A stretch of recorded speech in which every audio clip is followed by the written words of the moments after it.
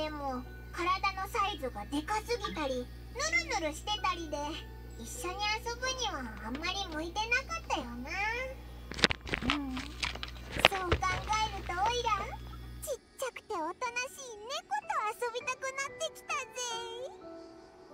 ってことでモンドのキャッツテールに行ってみないか？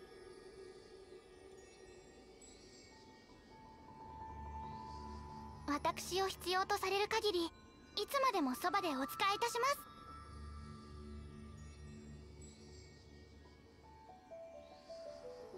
はい、えー、こんにちは。こんばんは。ゲーム動画でいこうです。久しぶりに原神始めていきましょう。本当に3ヶ月ぶりでしたね。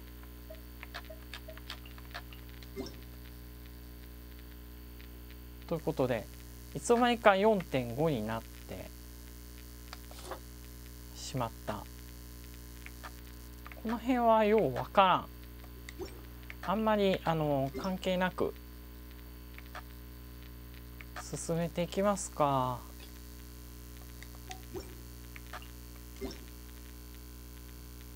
ね。えー、一括受け取り。バージョン情報ってなんだ？ああ4.5のプレジュプレビューペンジですね。戻りましょう。はい、えー、いつも通り Twitch で配信しております。Twitch アカウントフォロー。リポスト、えーと、と Twitch アカウントフォロー。チャットコメントお願いいたします。Please my Twitch アカウントフォロー。チャットコメントプリーズえそしてアーカイブを YouTube にアップロード予定です。2日後ですので12日21時頃プレミア公開予定です。ぜひこちらでも見てください。YouTube チャンネル登録高評価お願いいたします。えーマイ YouTube チャンネル、えー、アカウント、プリーズ、えっ、と、プレミアライブ、2days after、プレ、アップロード。マイ YouTube チャンネル、チャンネルサブスクライブドアンドグッドボタン、プリーズ。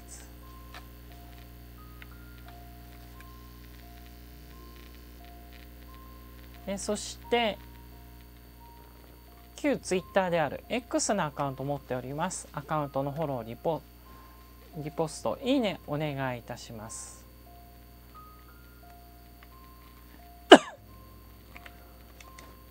えー、TwitterX マイ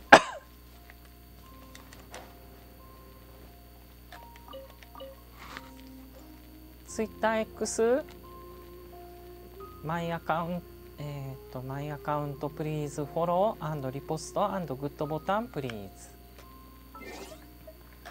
えー、では、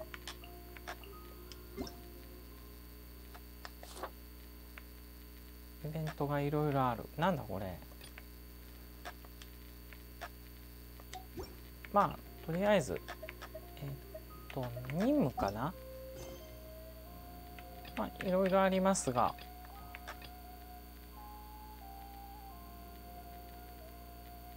これかな？あれ？いや、ちょっと待って。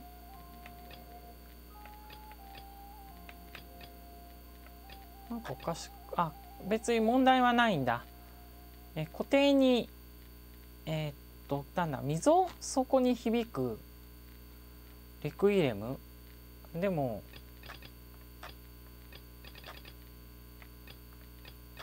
これって稲妻の物語じゃないの？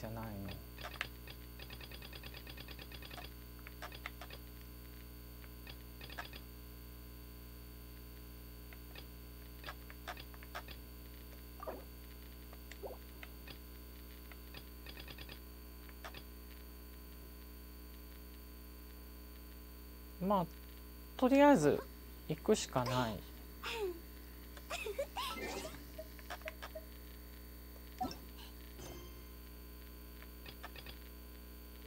この任務をクリアしてから進めることができる。他の任務ってこれしかないってこと？他の任務を遂行しているキャラクターがいるため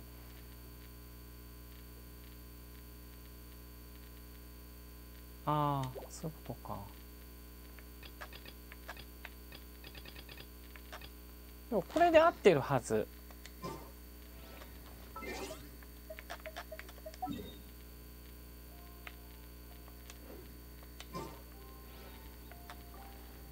航空へ進んでください。いや前地下航空やったんだけどな。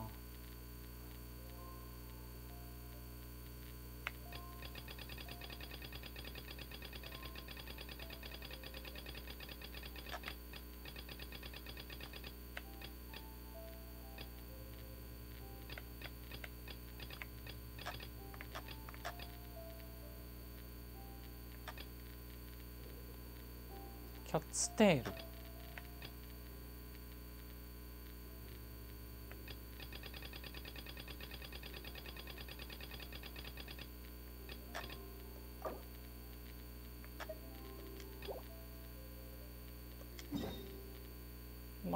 まあ細かい。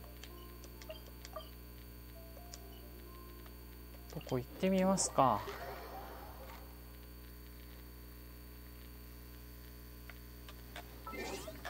ここら辺あのデッドロックみたいになってるんでね。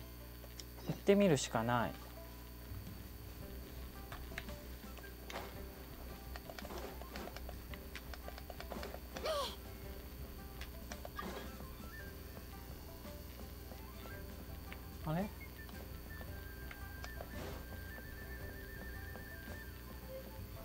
探せん？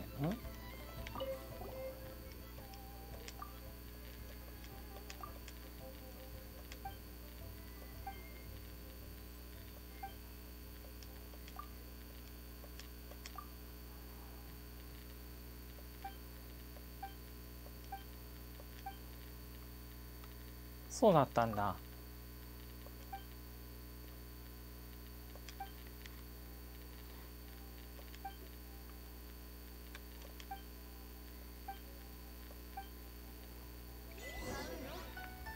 これでクリアなのか。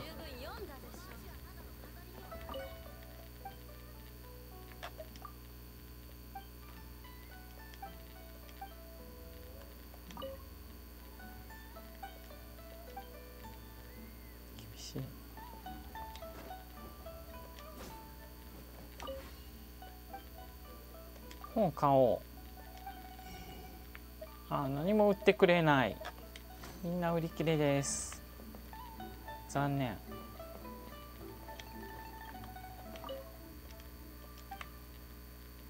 貴族疲労か。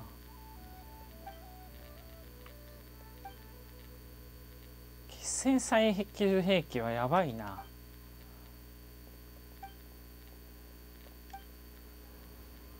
まあ、とりあえずアラヤに報告する。ってなってますね。マップ。ラヤってどこだ？ここはまだ発見待ちだけど多分まだ行けないはず。花屋ってどこだ？ろう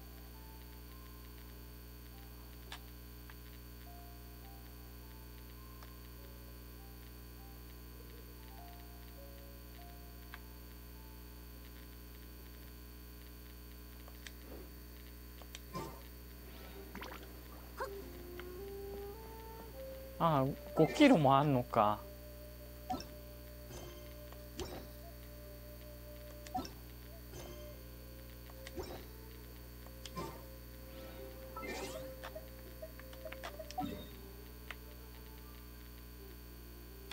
5キロもあるんだったら遠いよな。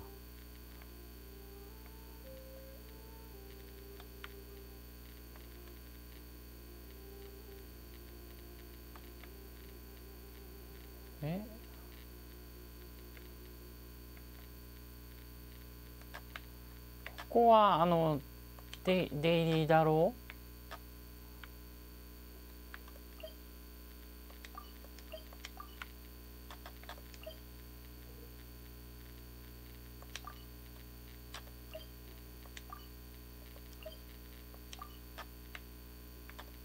でもデイリーやってみるか。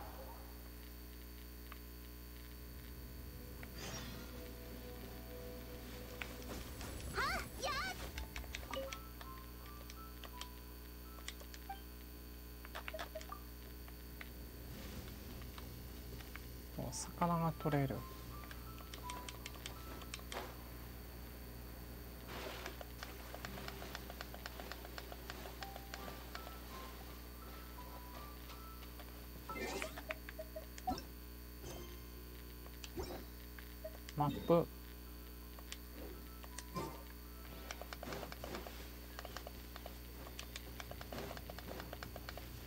あこれやっぱりガイア。おとなしくしやがれ。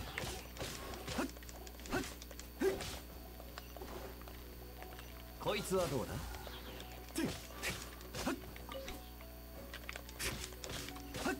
おとなしくしやがれ。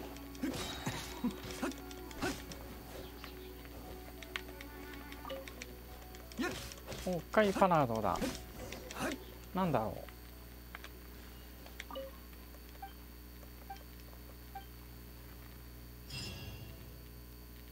う。なんだろう。に任務完了してしまった。こっちか。こんにちは。こいつはどうあ下に落ちちゃった。うちが下に落ちてどうすんだ？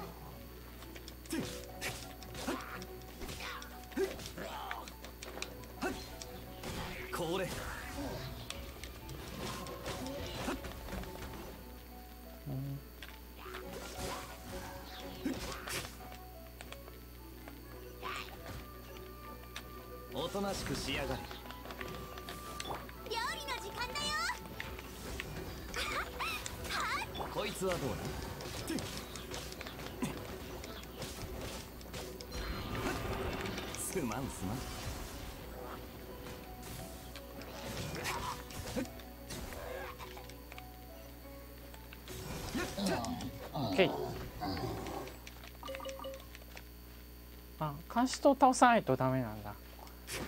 別に敵を倒す必要はなく。まず1個。これ。お前って本当にせ元気出してよ。おとなしくしやがれ。綺麗にしませんと。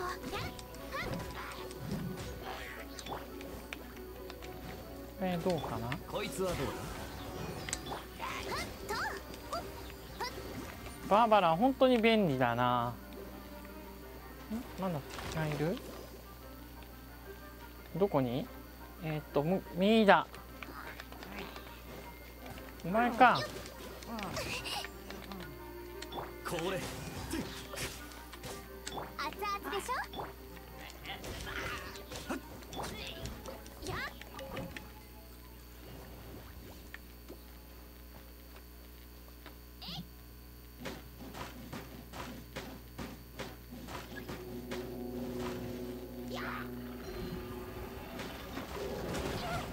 はいクリア。岩の重さは安心でき料おとなしくしやがれ。理の時間だよ。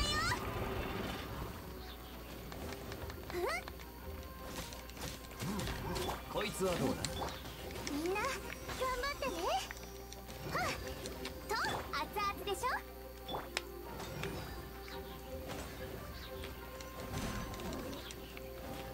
綺麗にしませんと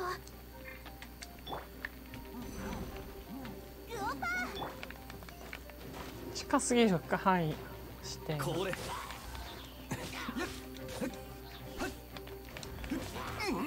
殴られた。おとなしくしやがれ料理の時間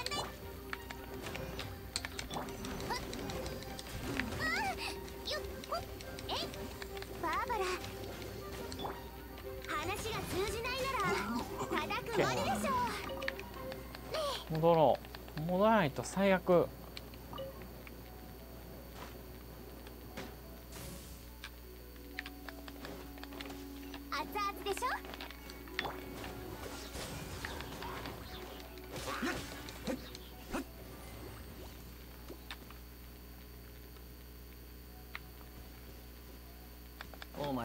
当にせっかちだな。OK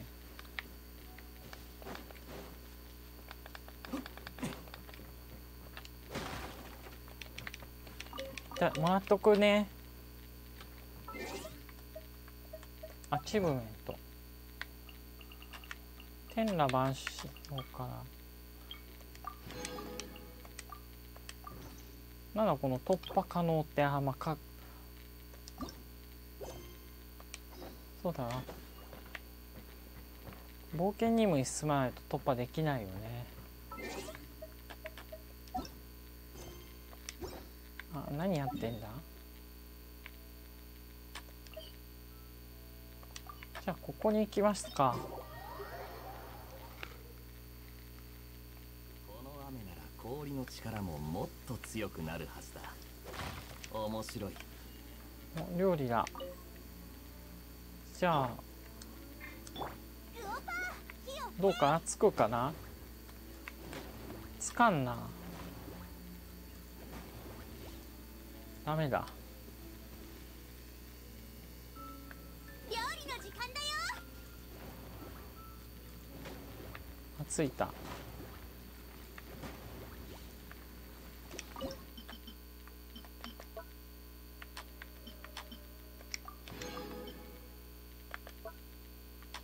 じゃあちょっとおなんかすごい。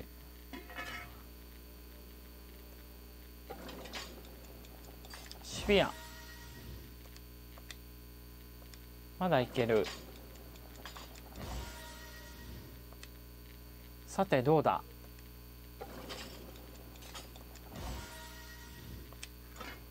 あここでストップ。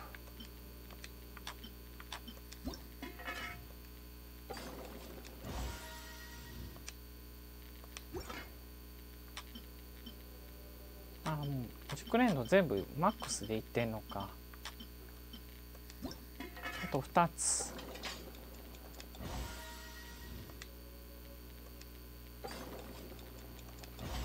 OK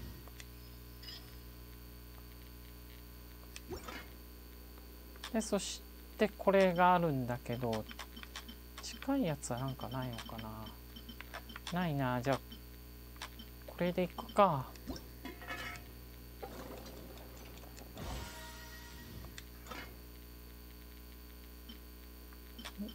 けなかった。足りない。うどん。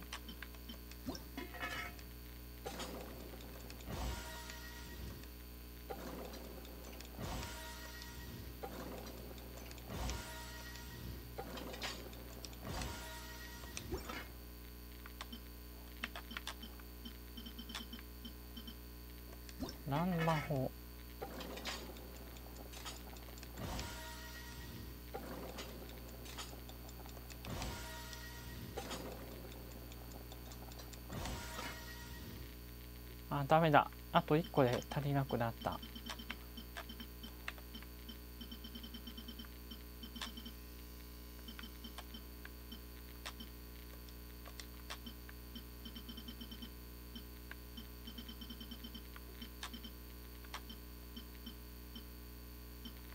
もう1個だったんだよな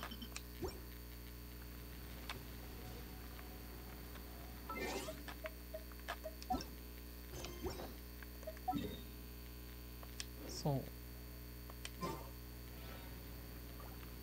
っちだ反対だ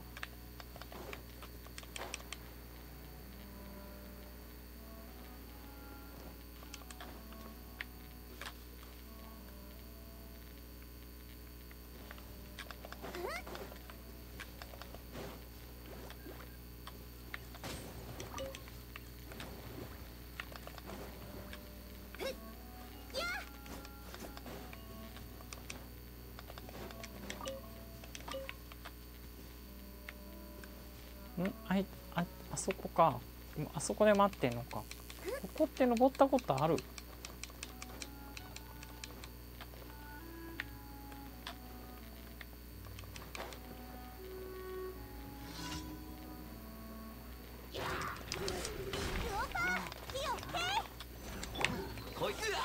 わきつい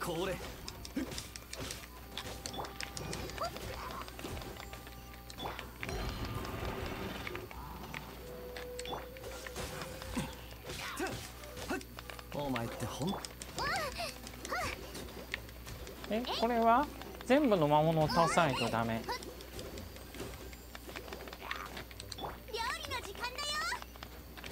こいつはどうだ？風邪ひくなよ。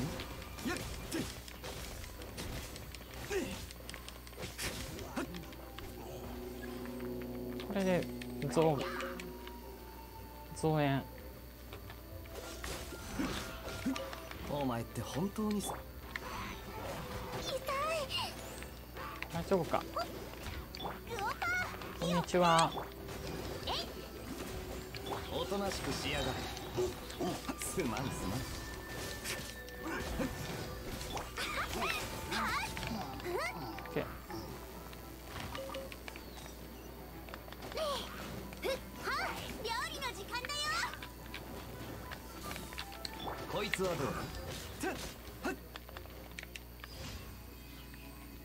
倒的に倒れてくれた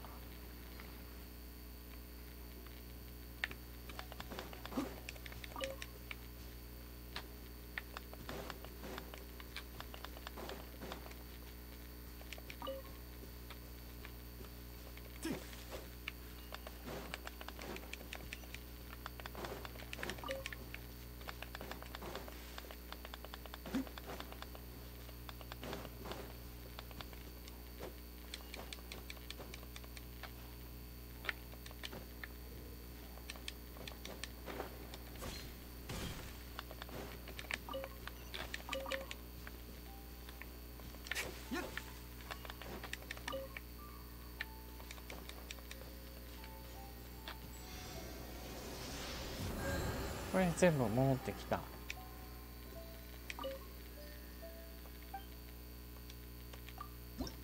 捧げれるものはないな。ん？なんか右になんかいるぞ。あれなんだ？スライムか。毒スライム。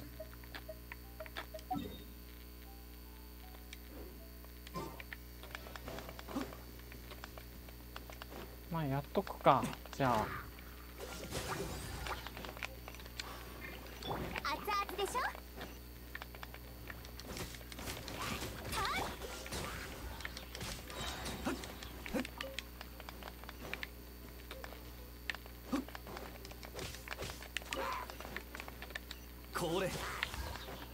ミュージックスタート。おとなしくしやがれ。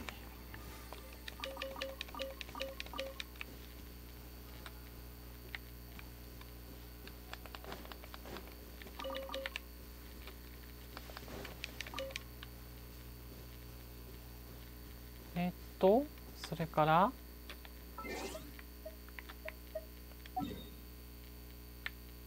とここか。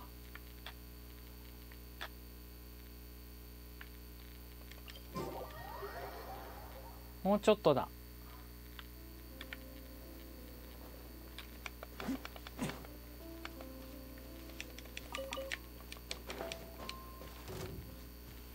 お前って本当にせっかちだあなここ関係ないんでもう無視します。ん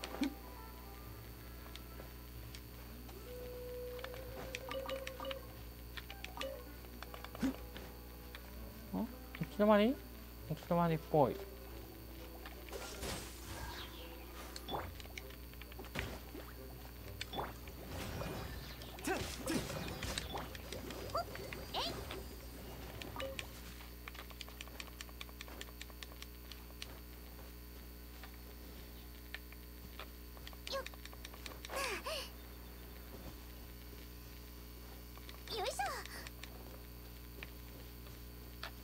ょでノエルの出番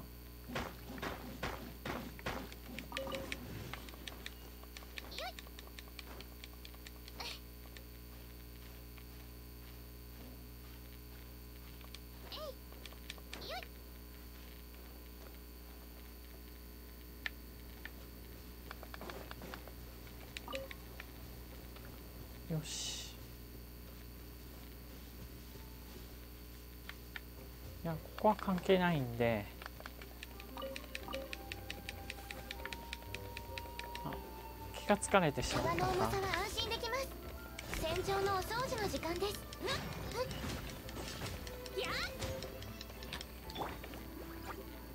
こいつはどうだ？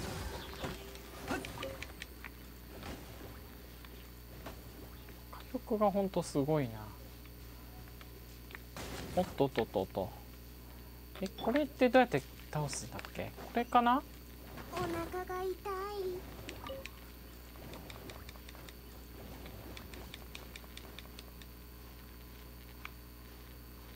ほっほっ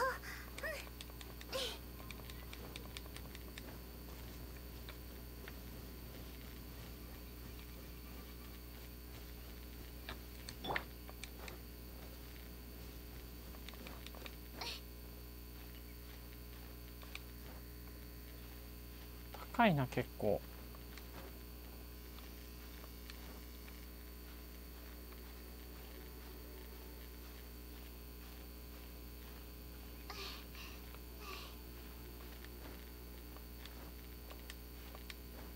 間に合うのか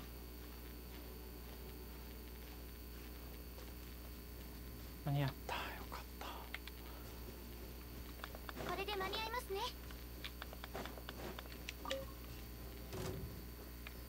どこ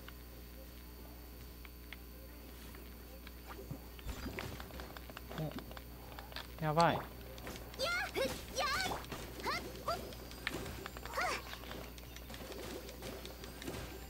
おとなしくしやがるグオパー火を吹け師匠の技を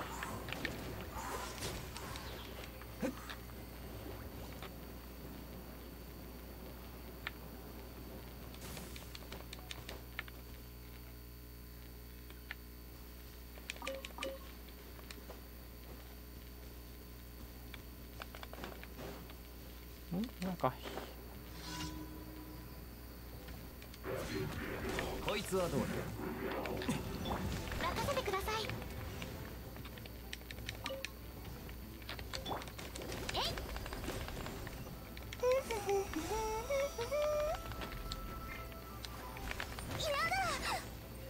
いなんでチンジ行けやかった。これ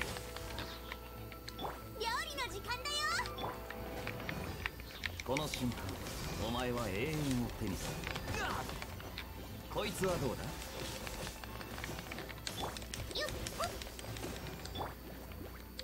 これ。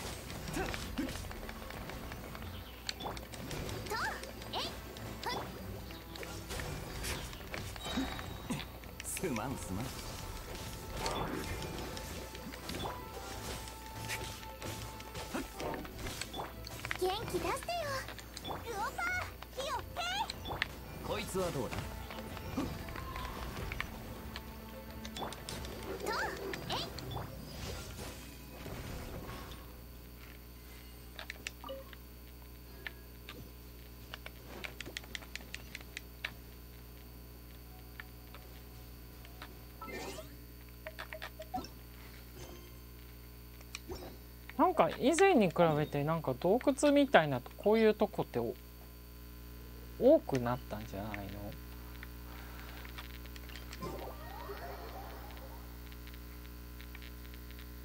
随分と長いしたな。近。そろそろ体を動かさないとカビが生えちまうぞ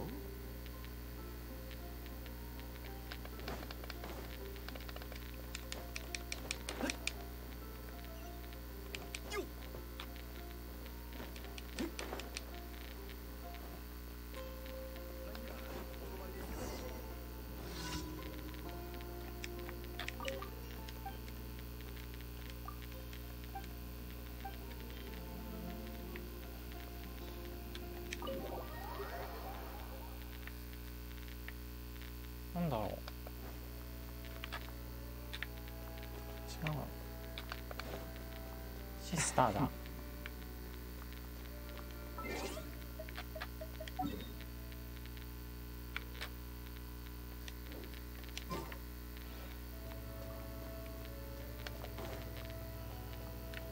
ここに別にいるわけじゃないんだろうな。奥にいるのかな？こ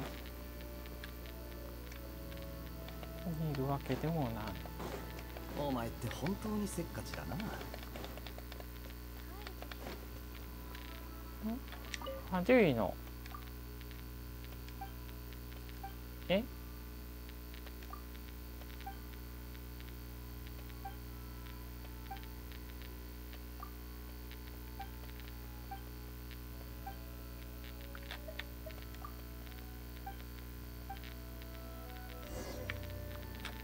早っ。は戦利品を手に入れろ。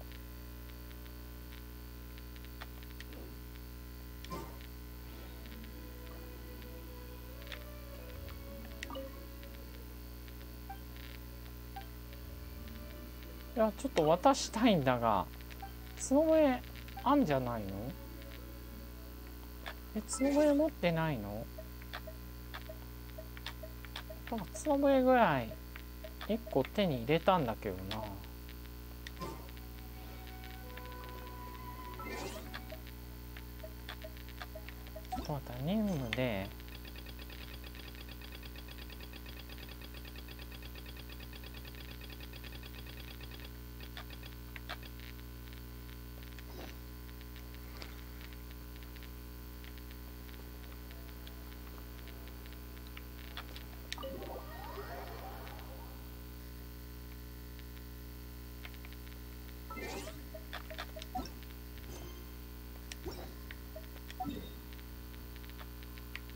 ここか。ここにいるんだ。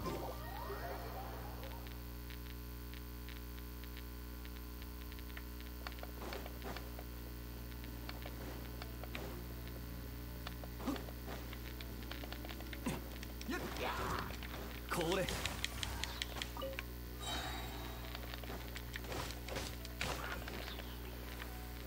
こいつはどう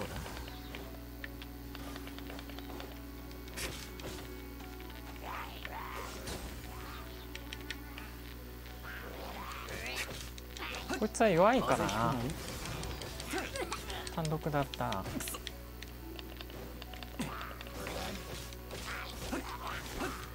おとなしくしやがれ。あとは？倒したが？あ！宝箱が隠れていた興味深い。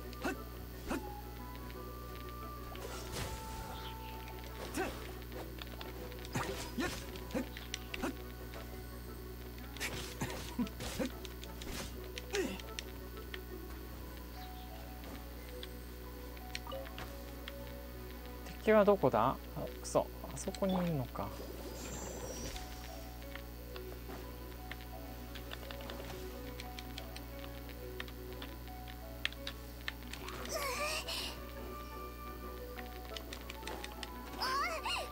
そう。なかなか上がってこれない。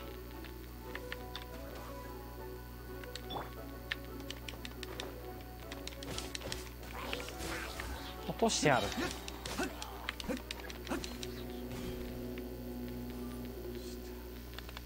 こいつはどうだ？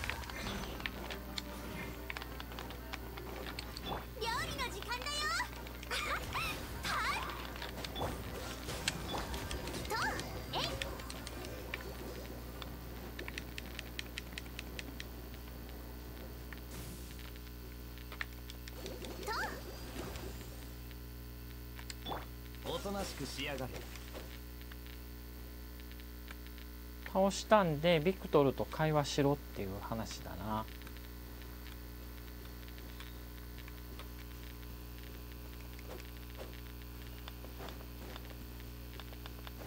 あここにもなんかいる。こいつはどうだ熱々でしょ？岩の重さは安心。はっ準備できたかな？おとなしくしやがれ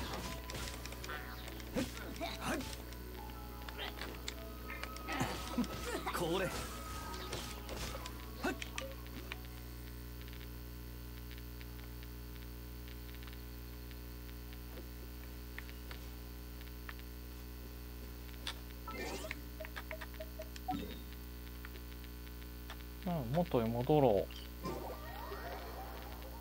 これがラストだっけ？デイリーの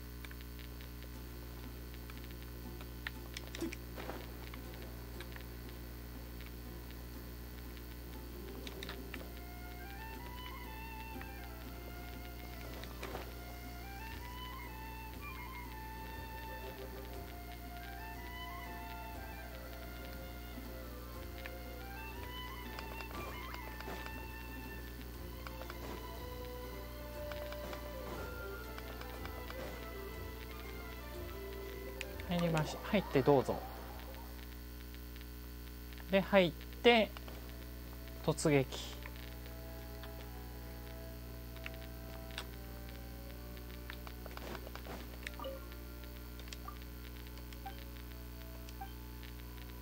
スネージナヤパレス、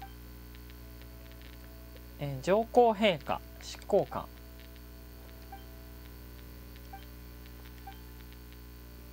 古城はいクリア。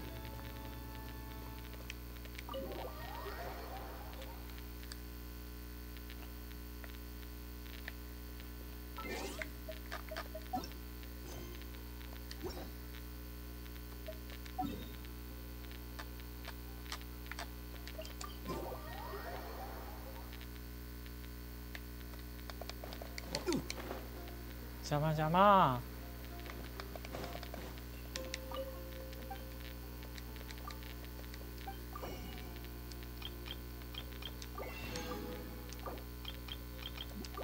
お金は77万持ってんのか。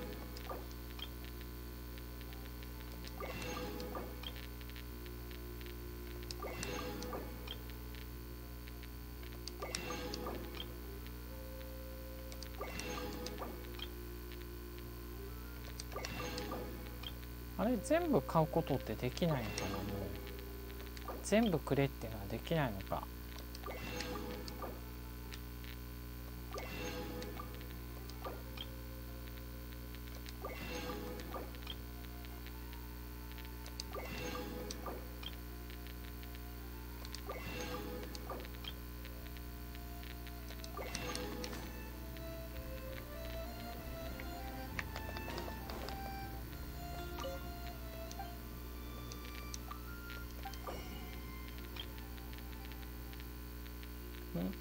これって1 RS RS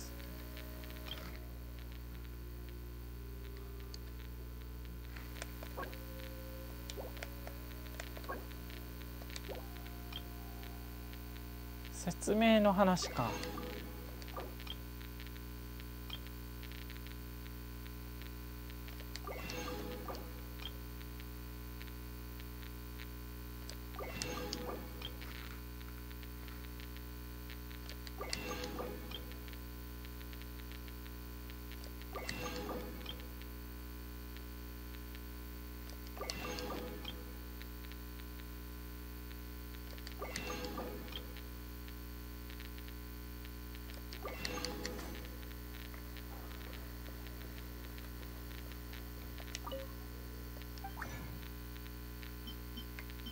かいろいろあるなん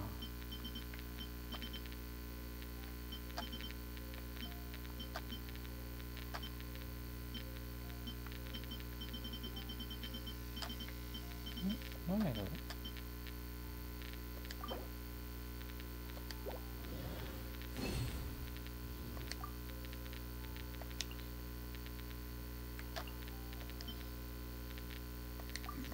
なるほど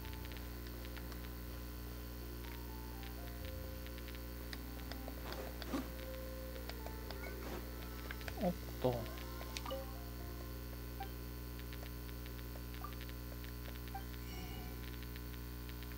モラだけしかない。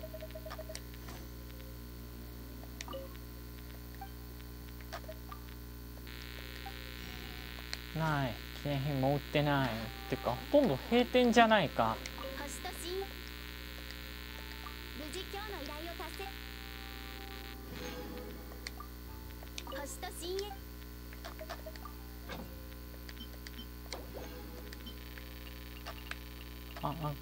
ベネットあたりを入れるといいみたいな。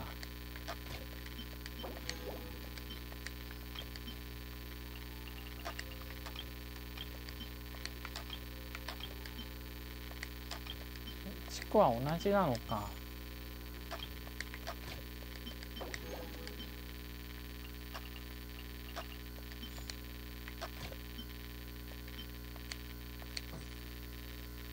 星と深淵をあん星と深淵を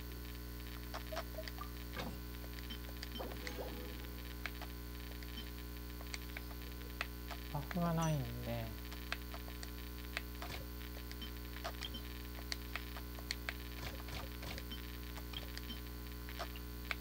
じゃあフィッシュエル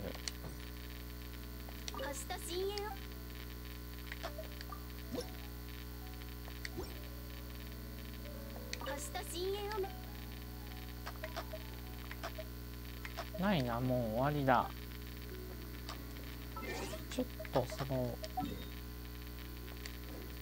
本来行かなきゃいけない場所へ行ってみよう。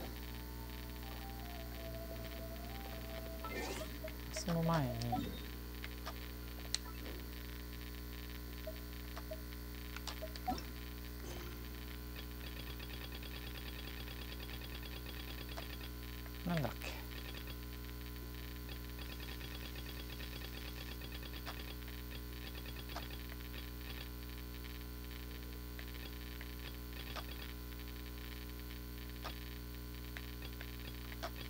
これだ。ん？これどこ？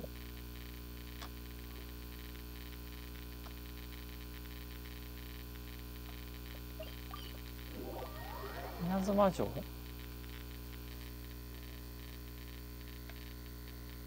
でしょう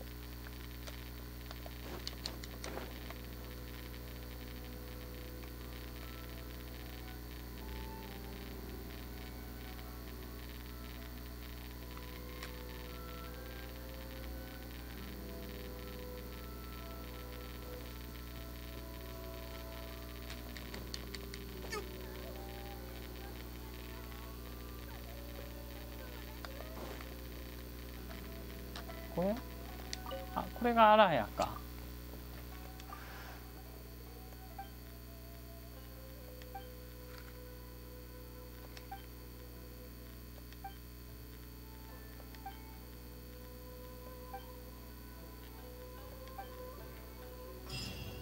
これでクリアですね。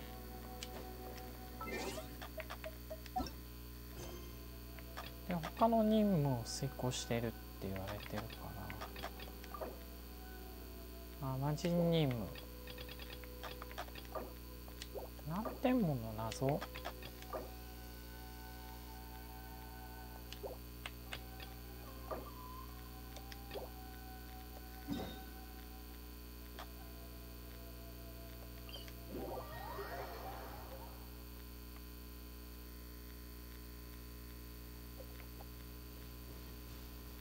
反対か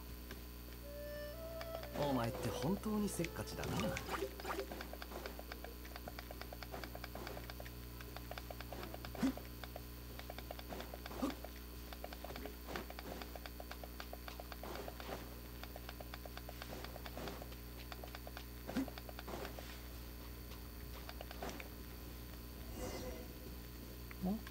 報告をし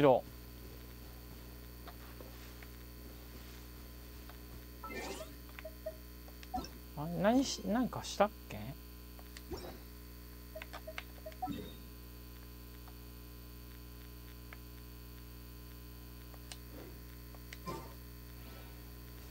下か左下。違うこっちじゃないこっちだ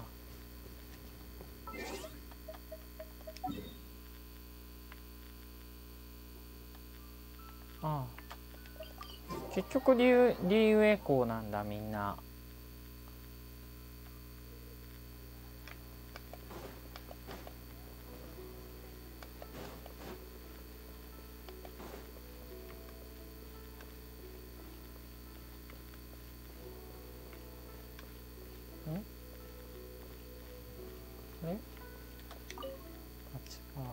あこの人か。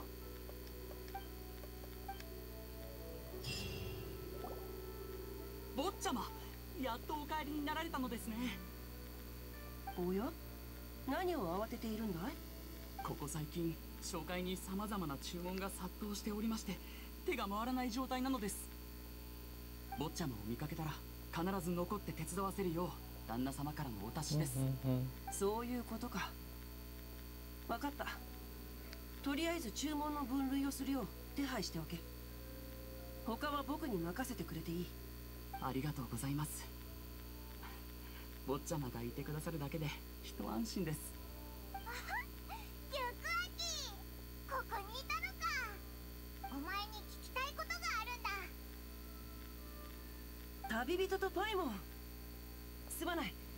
し待っててくれないか？アキョク僕は客人と話すから君は先に行っててくれ。紹介のことは後で詳しく相談しよわかりました。お客人どうぞごゆっくり。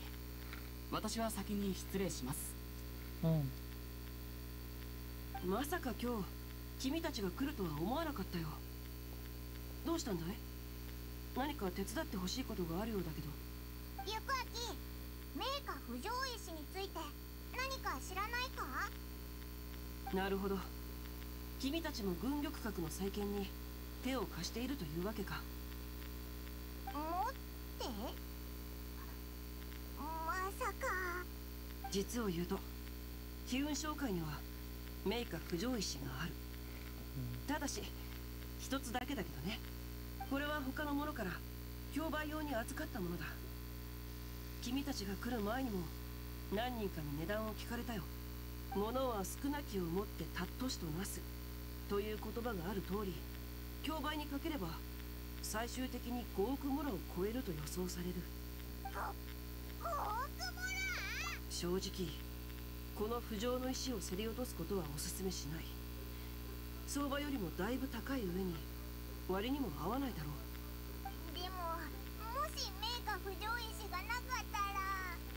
焦ることはない。君たちは鳴海聖火神君について聞いたことあるかい？あ？なんだ？誰だそれ？鳴海聖火神君はかつて利水定山神君と親密な関係にあった方だ。しかし我の記憶ではもうすでに逝去されているはず。そう。まさか僕以外にもあの方について知っている人がいるとはね。関運録に記述された内容によると鳴海聖火神君は自ら銅天を作り奇妙で珍しい宝を数多く陳列していたそうだ。その中に君たちが探している名家不条石がある鳴海聖火神君が逝去された後その銅天は荒廃し歴史の陣愛へと埋もれていった。ただ幸いなことに僕は民間伝承に関する本を最近集めていてね。そこでこの童貞について知ることができたんだよ。そして何度か検証を重ねた結果利社港の近くにその童貞があることが分かった。あでもオイラたちがそれをもらってもいいのか？仙人に対してその罰当たりだったり。問題ない。我が知る限り鳴海聖火神君は心が広い。あの方が生きていたとしてもこれ式のことは気にしないだろう。心が広い？実に斬新な観点だ。どの書物から得た考察なのかよかったら聞いてもいいかい？ただ山野に広がっている噂だ。行くぞ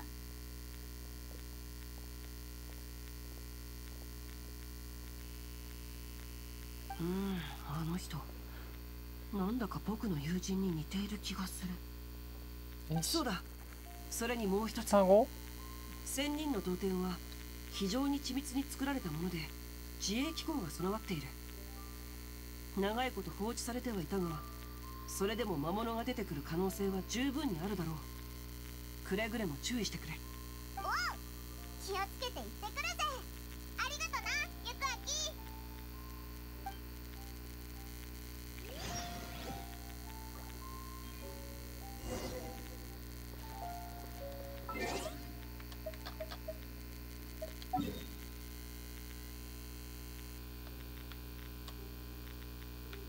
だろう。あなんかこの辺まだ何もないのか。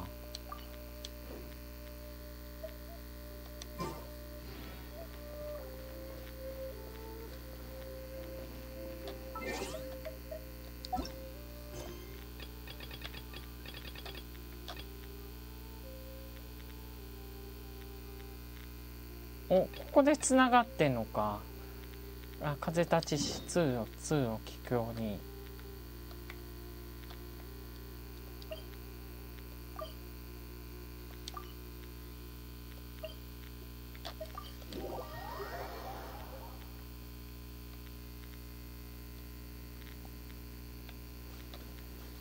前って本当にせっかちだな。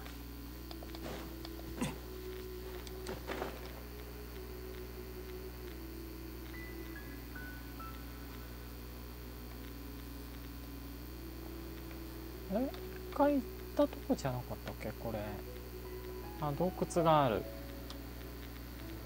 宝箱かな？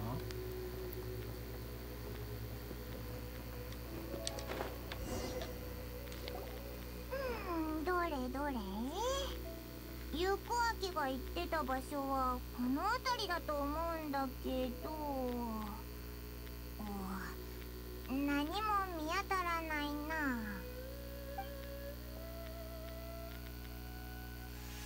おなんだ？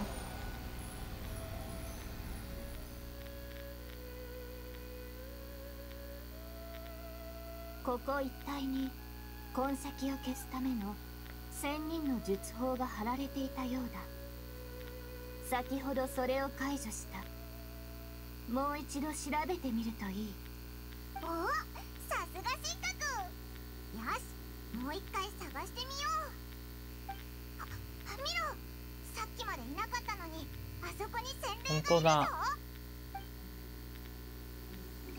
追っかける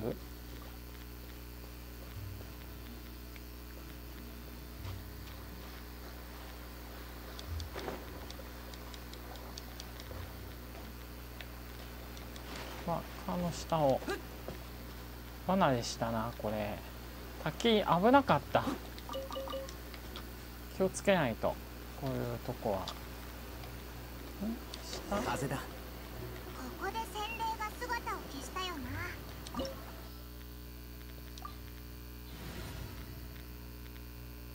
まあこのまま行きましょう。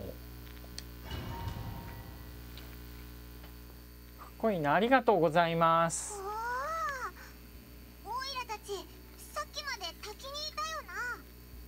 幻想的な雰囲気だこんなところに出たんだ？雲がたくさん。空の上にいるみたいだ。おそらくここが千人の同点だろう。我らが探している。名家不条石もここにあるはずだ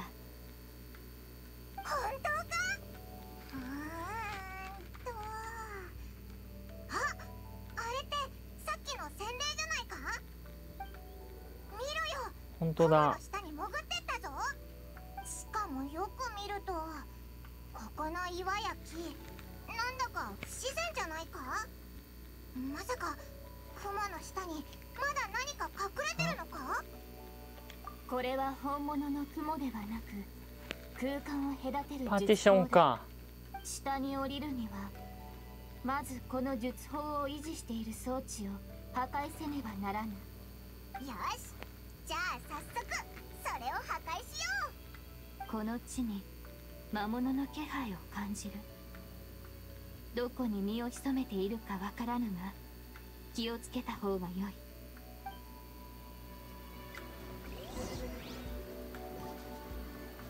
どこだ、えー、個人コアの？3箇所なんか破壊しないといけないみたいな。あお試しでテストできる？落ちたらあれなんだか。あなんか上にいる。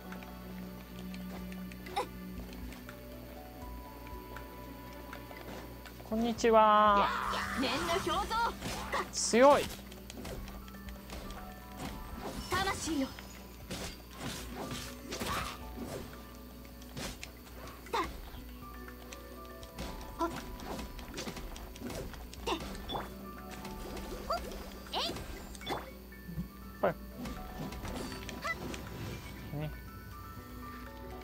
LBY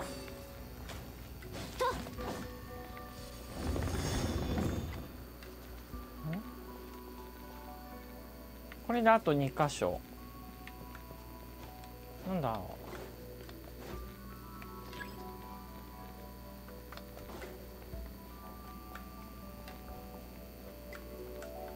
う上上だ。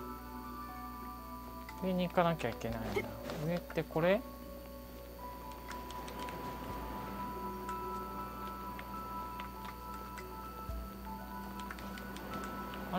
上に上がらない。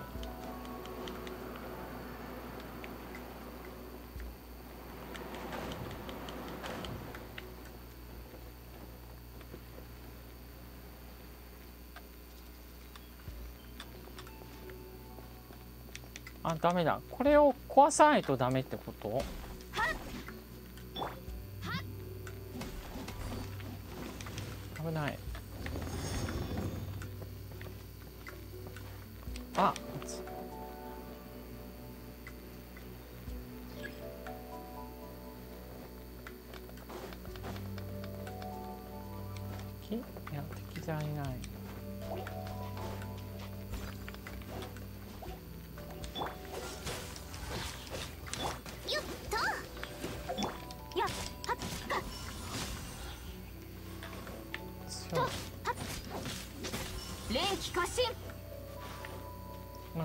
なんか分身した。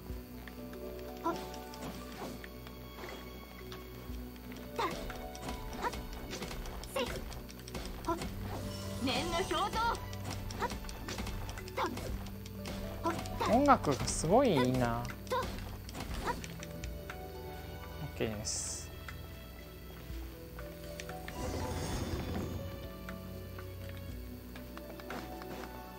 真ん中に向かう。者として認識されたようだ。だがこれしき我が何とかしよう。律令に従え。かった。ほっか入れよ。やっせ。いおとなしくしやがって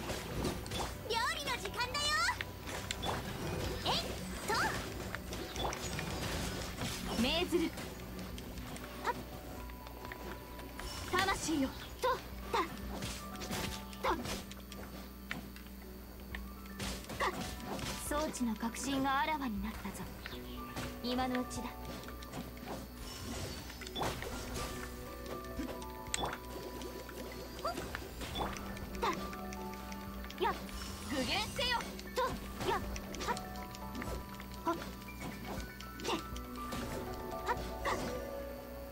破った。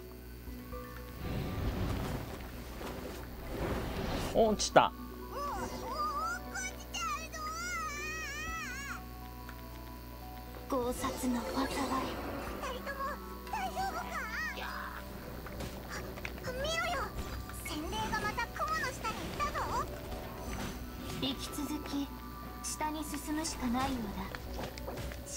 その前にこの層の守衛装置を壊す必要がある。連気過信！とと復活しないの？命ずる。やっ。これ。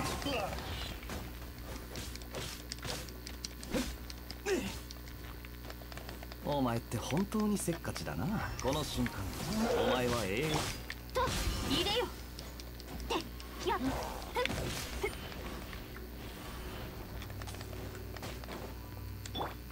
しくしやがる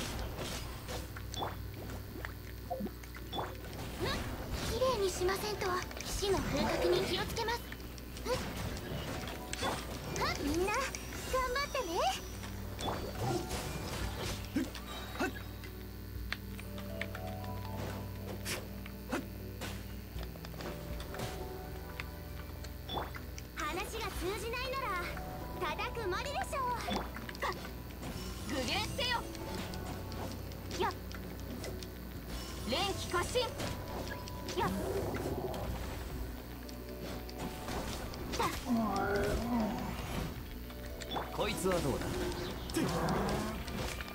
すまんすね。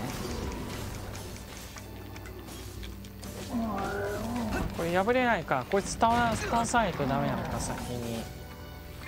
熱々でしょ？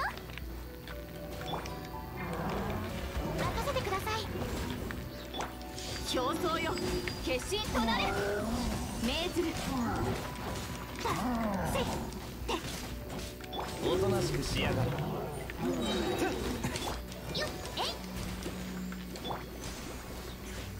こいつはどう？だ風邪ひくなよ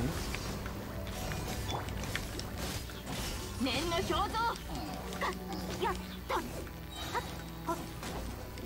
天心直送よっ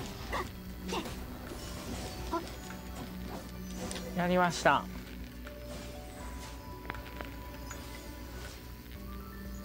こいつがやっぱり出てくる。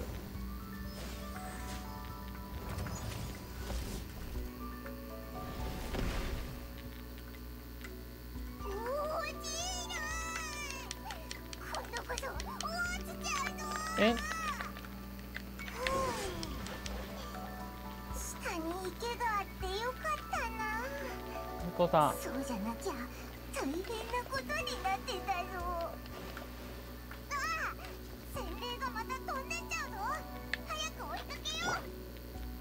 せんね。どこにいるんだ？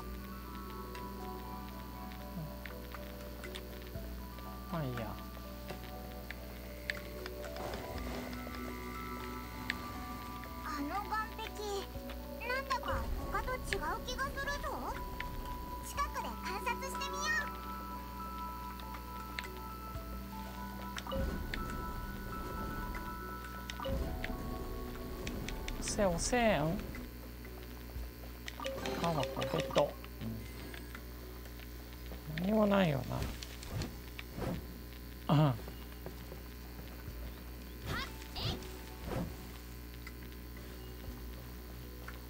越えられない。じゃあ行くしかない。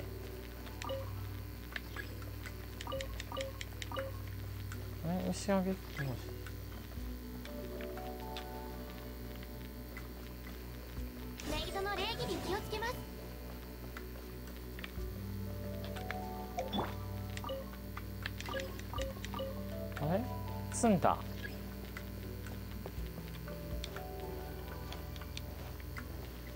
ちじゃないんじゃないの？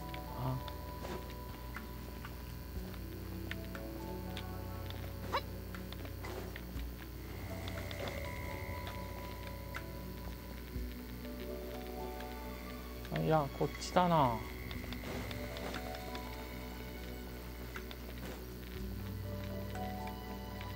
えこっち？どっちなんだ？上に上がれって言ってんのか。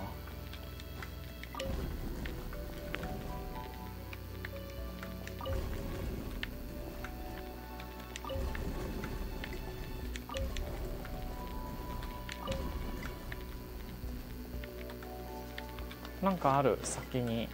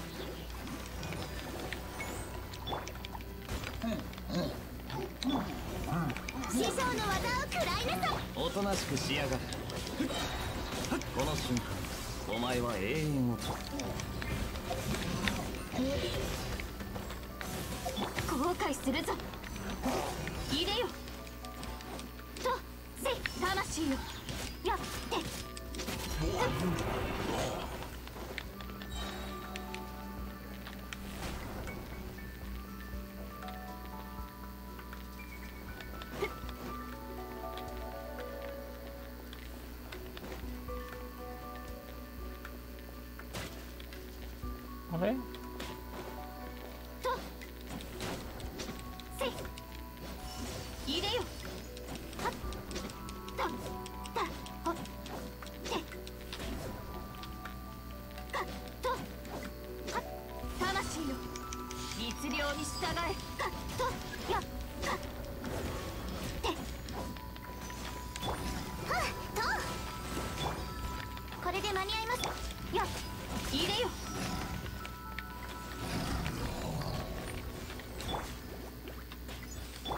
つはどうだ？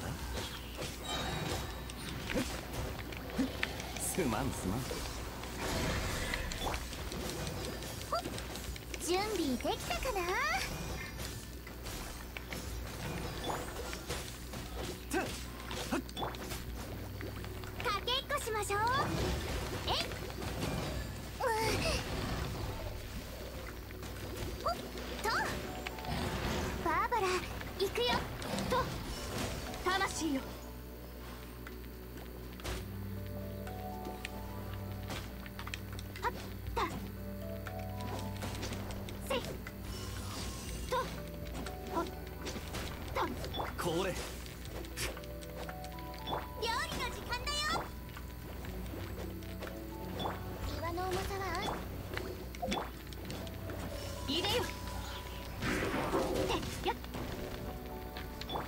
はどうだ？戦場のお掃除の時間です。た命ずる。やっ。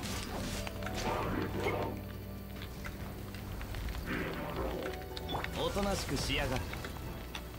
この瞬間お前は永遠を手にする。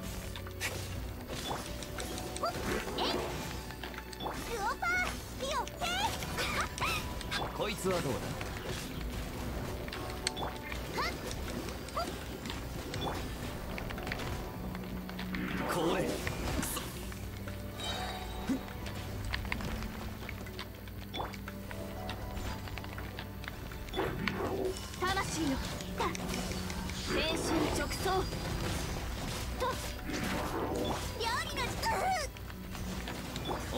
くしやがると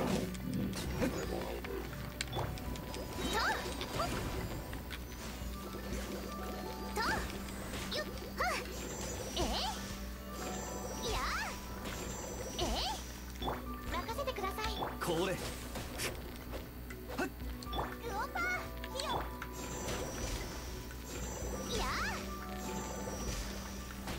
これでどうだ？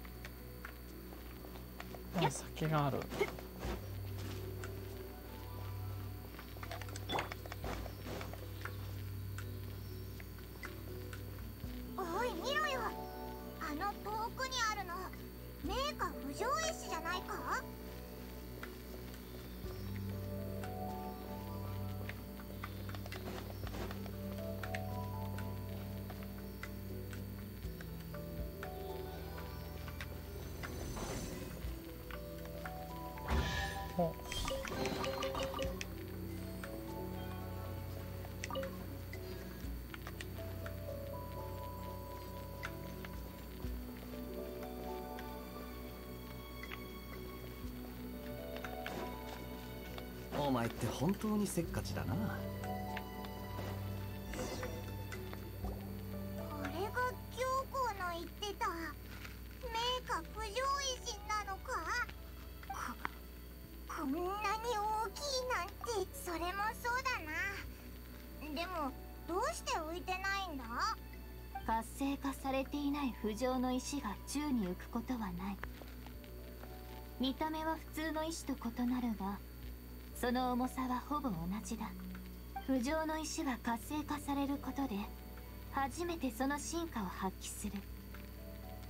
属性の束縛から解き放たれ空へと浮かび上がるのだ。そうだったのか。神格は物知りなんだな。我の師匠は雑談が好きでな。暇があれば我を引き連れ様々な伝承を話してくれた興味のない内容の方が多かったが まさかこのように役に立つとは。あふと思ったんだけど。もしここで活性化させたら持ち帰れないよな。そんなことしたらオイラたちまで一緒に飛んでっちゃうし。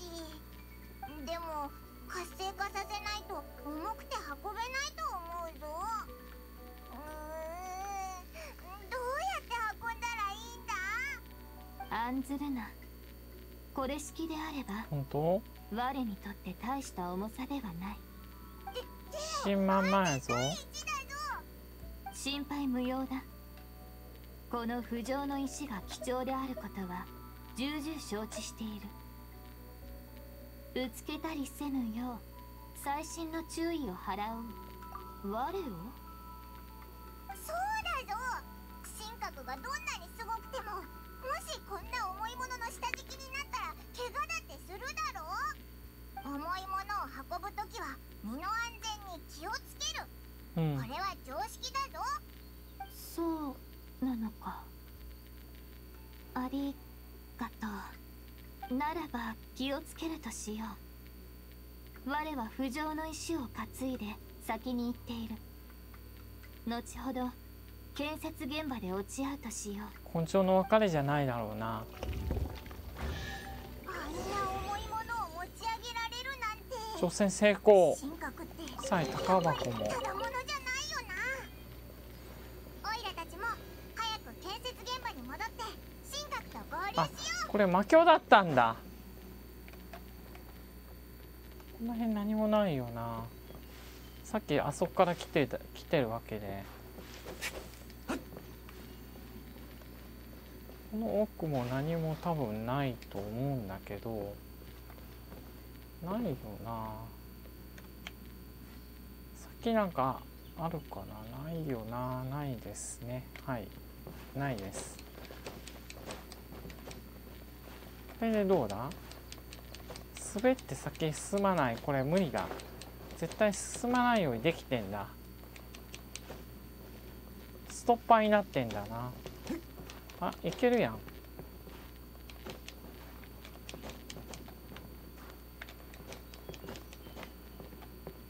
ぴょんぴょん。えどこまで行くんだ？これ。何かあるな。あダメでした。じゃあもう関係ないってことか。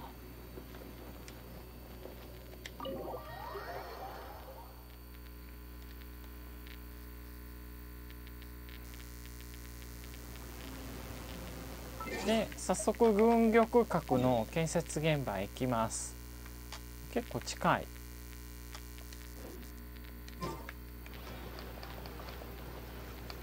あ反対だ。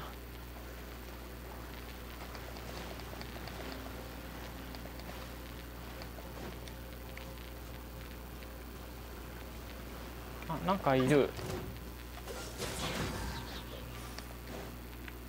すまんすまん。おとなしくしやがる壁はめしやがって。綺麗にしません。これ。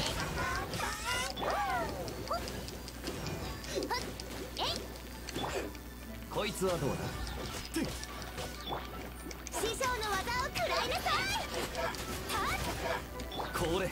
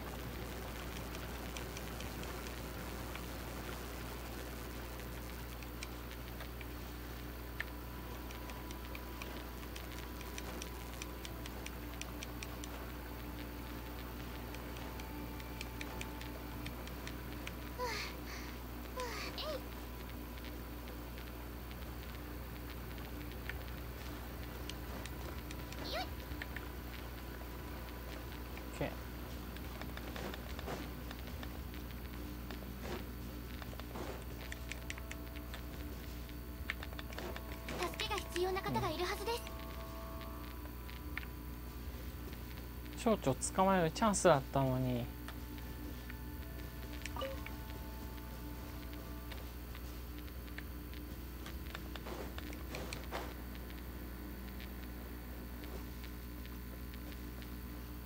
なんだろう。廃屋？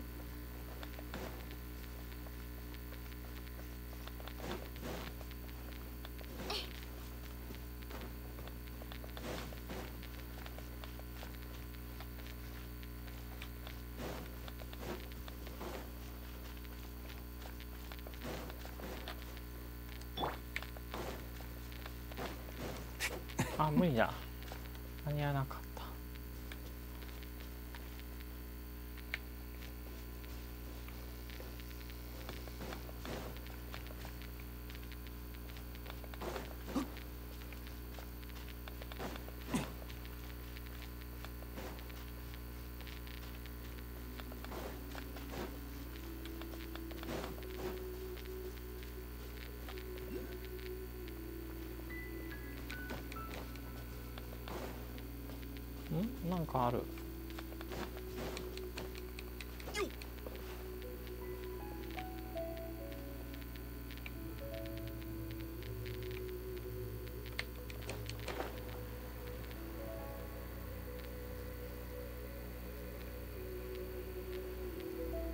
遠かない？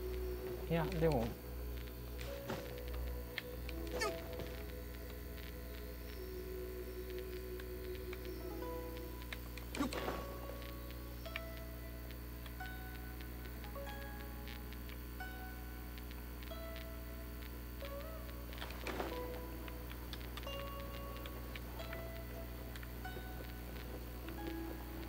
隠れてるかもなここに。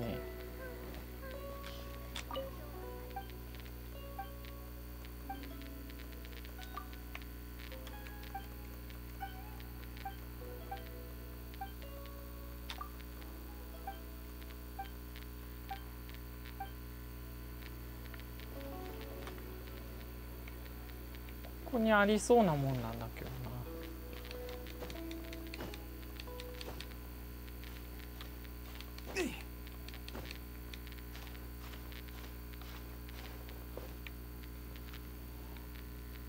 中にあったわけじゃないのか。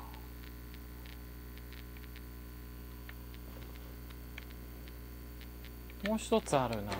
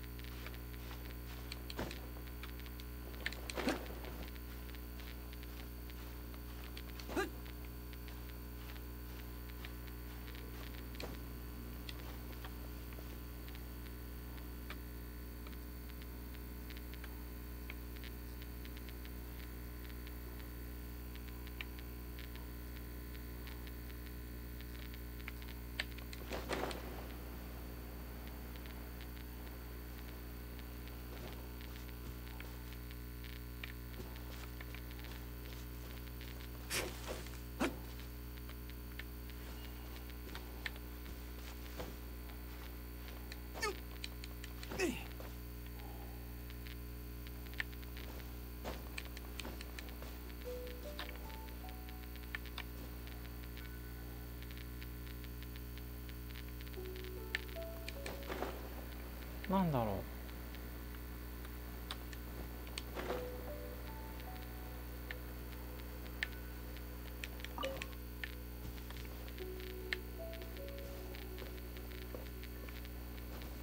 う。お前って本当にせっかちだな。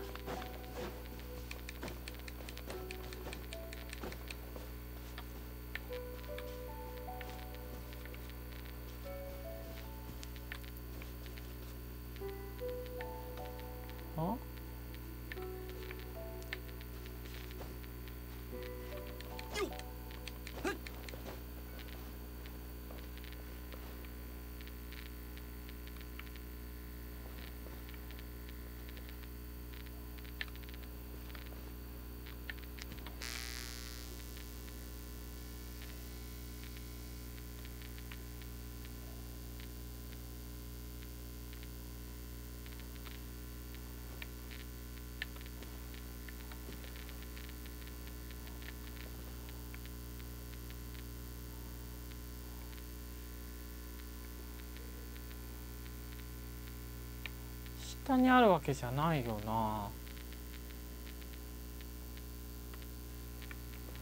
まあでも収穫探す方が優先だから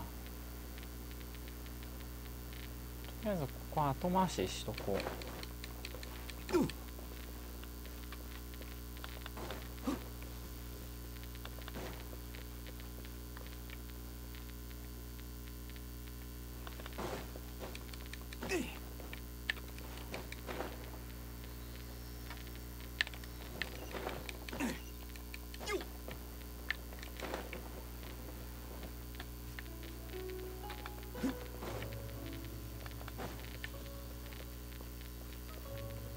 か。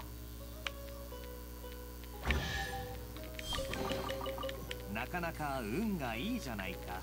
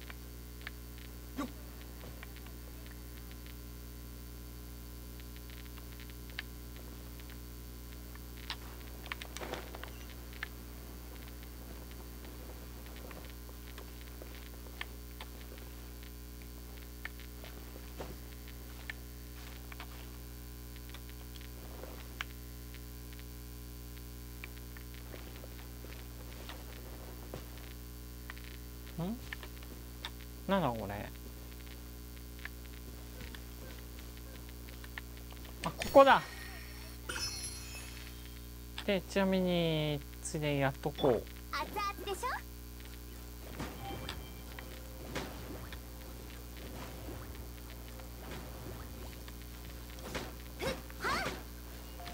え時間制限あんのかな？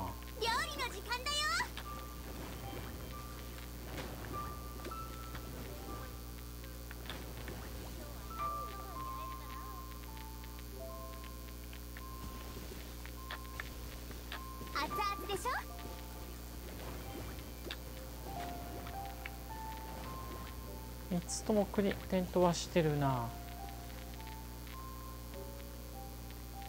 料理の時間だよ。OK です。うん大量大量。どうして落ちここ落ちたんだ？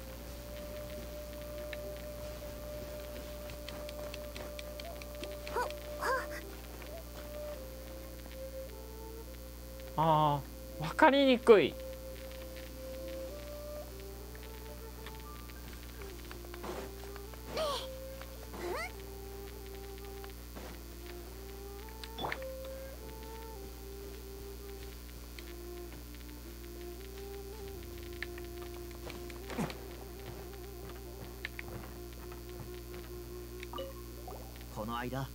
ここで盗みを働こうとした者がいたんです。押し付けか。法による裁きを受けることになりましたが。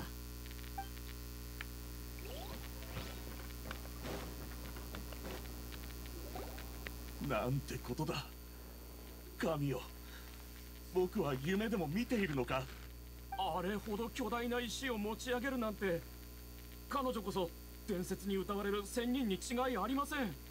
仙人様どうか来年の収入が上がりますように。体積品質ともに最上級。保存状態も非常に素晴らしいですね。このレベルであれば申し分ありません。この名家不条石には満点をつけても問題ないでしょう。お名前をお伺いしても我の名は重要ではないこれの競い合いに参加しているわけではないからな。我はこの石の運搬を頼まれただけ。依頼主はもうすぐ来るはずだ。神格あそれと行幸の手下もなんとあなたたちでしたか。これほどの不浄の石を見つけたのも納得できます。進行属性一つ訂正させてください。怒ってる。私は手下ではなく秘書です。大川秘書のお姉さん。この石はオイラたちみんなで見つけたんだ。どうだ？すごいだろ正直なところこれまでに届いた不浄の石の中で最上級の品質です。予想外のことが起こらない限りこの石を土台にして軍玉閣の再建は進められると思います。今日はお疲れでしょう。行幸様がこの近くで民宿を借りています。お休みになりたい方はそこに泊まっていただいて構わないとのこと本です。それでは私は先に失礼します。ご覧の通りまだやることが山積みですので。神格さっきここに到着した時みんな神格のことを尊敬の眼差しで見てたぞ。そうなのか反応が薄いな。こういう時はもっと喜ぶもんだぞ。もしオイラが誰かに「パイモンすごい!」って褒められたら胸を張りながらニヤニヤしてるぞ。以前我も似たような称賛を浴びたことがあるその者たちは我を仙人と呼びまるで遠い存在であるかのようにお敬意を払いながら接してきた。そうだったんだ。でも仙人ってみんなそんな感じだろ？オイラたちがこれまでに会ってきた仙人もみんな浮世離れしてて普通の人間とは違ってたぞ。しかし我がそうでは。本当？神格なんか気にしてるみたいだな。何でもない。童貞に入ってから力を酷使していたゆえ少し疲れただけだ。大丈夫か？あそういえば百分が言ってたよな。近くの民宿を借りてあるって。そこで休憩しよう、うん。心配は無用だ。どこか人里離れた静かな場所を見つけ少し座禅を組めばじきに治る。ダメだよ。ダメダメ。この間に危険な目にあったらどうするんだ？お腹が空いたら美味しいものを食べて眠くなったら屋根のある場所でちゃんと寝る。無理をするのは良くないぞ。分かった。覚えておこう。あう。そうと決まれば早速神格を民宿に連れて行こう遅くてすごいな。スレンダー。いなくなったりしないよな新格。あち本当に近い。お前って本当にせっかちだな。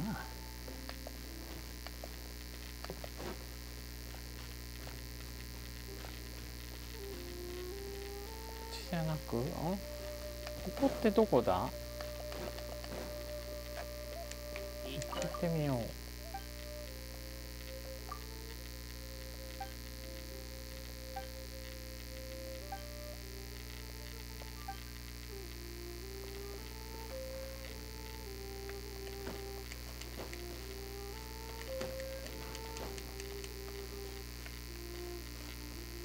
黄金屋かさあの決戦のあった黄金屋。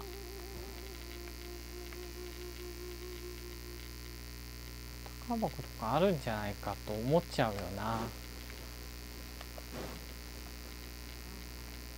いつもそんなことばっかり考えてる。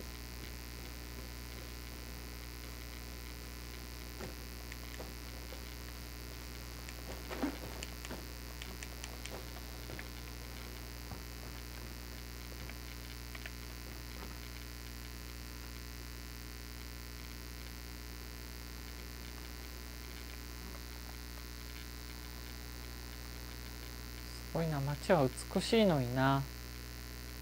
なんかみんなよく。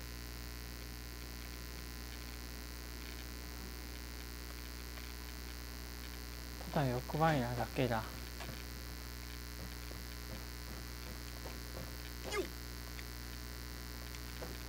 お誰かいる？いや誰もいない。次なんかある？何もないね。じゃあ民宿行くか。ジャンプこれ？これっぽい。ちっ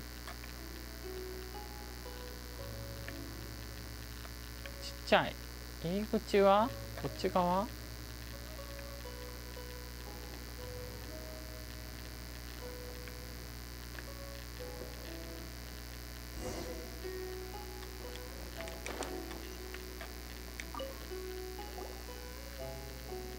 宿泊ですか？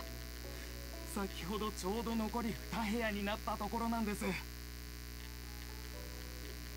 軍玉閣の再建にこの地区が選ばれて以来大工ややじ馬業務担当者やお茶売りと利用者が後を絶たない状況でしてだから今日もかなり混み合ってるんですよ。部屋もどんどん埋まってしまいお客さん間に合ってよかったですね。片方はまだ部屋の掃除中でしておそらく1時間ほどしたらご案内できるかと思います。もう一つの部屋は扉をドミトリーみ左に曲がたいな感じ？ったところにあります。どうぞ。グランピングかな？皆さんごゆっくりお休みください。それでは。それじゃあ神格が先に部屋を使ってくれ。うん。オイラたちは外で部屋の掃除が終わるのを待ってるから。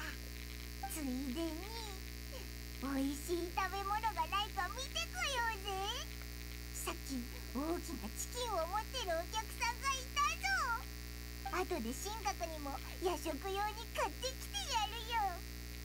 明日の朝ごはんにしてもいいしな。ならば我は休もう。何かあったらいつでも呼べ。我の眠りは浅い。戸を叩くだけですぐに起きよう。ああまた明日。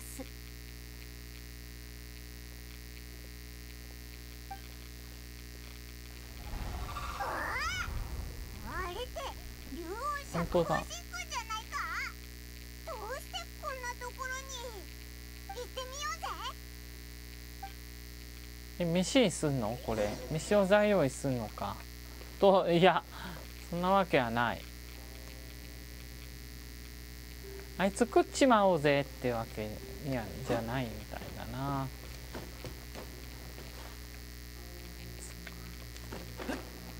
ついなんかないか思っ確認してしまう。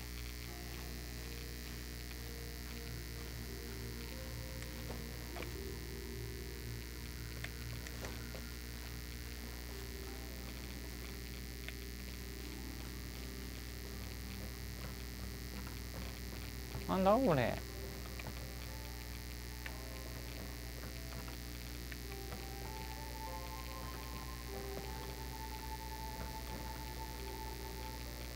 おなんだこれ？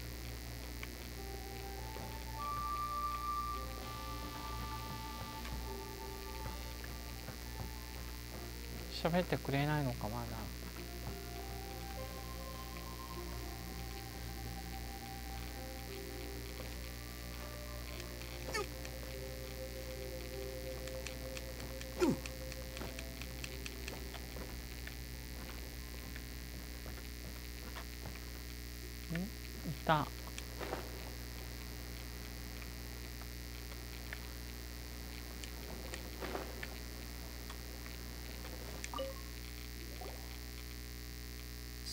とはもう会ったようだな。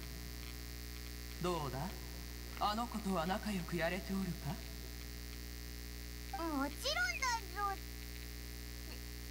竜雲釈放神君も神格のことを知っているのか？それは当然。リーユエ港で長年生活するカーンを除けば生き残っている仙人たちは多かれ少なかれ神格と関わりがある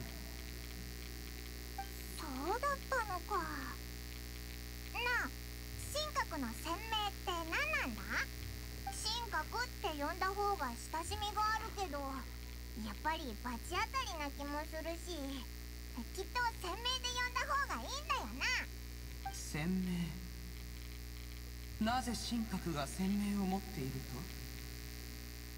え？仙人ってみんなすごそうな称号を持ってるんじゃないのか？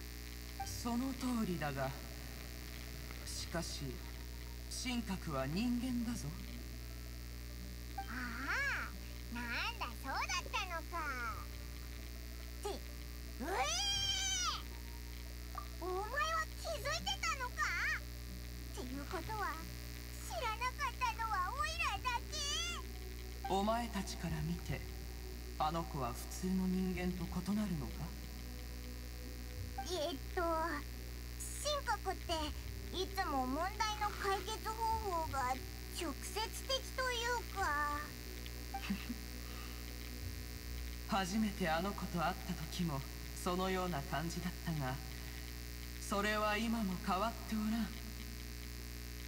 わらわと神格の出会いはとある洞窟の中であったあの日わらわがその洞窟の近くを偶然通りかかると魔人の残骸から放たれる気配を感じた。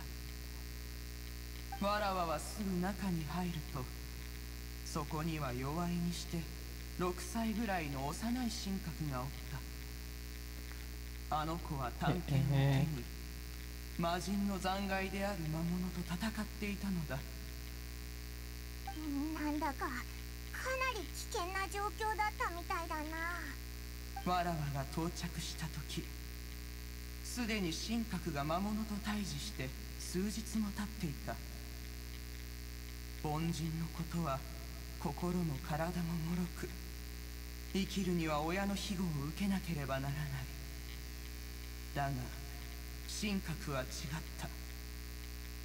あの子があのような危機を耐え忍ぶことができたのは強い精神力のみならず生まれ持っての気骨と殺意があったからだ。わらわがその魔物を仕留めた後もあの子は気を緩めることなくわらわにまで刃を向けてきた。だがわらわに傷をつける意志がないとわかると何も言わずに気を失った。つまりもし竜雲釈放神君がいなかったら今頃神格は？いや。必ずしもそうとは限らぬ。わらわが着いた時には魔人の遠さは無産し始めていた。あのまま膠着状態が続いていたら生き残ったのは神格だったはずだ。それでも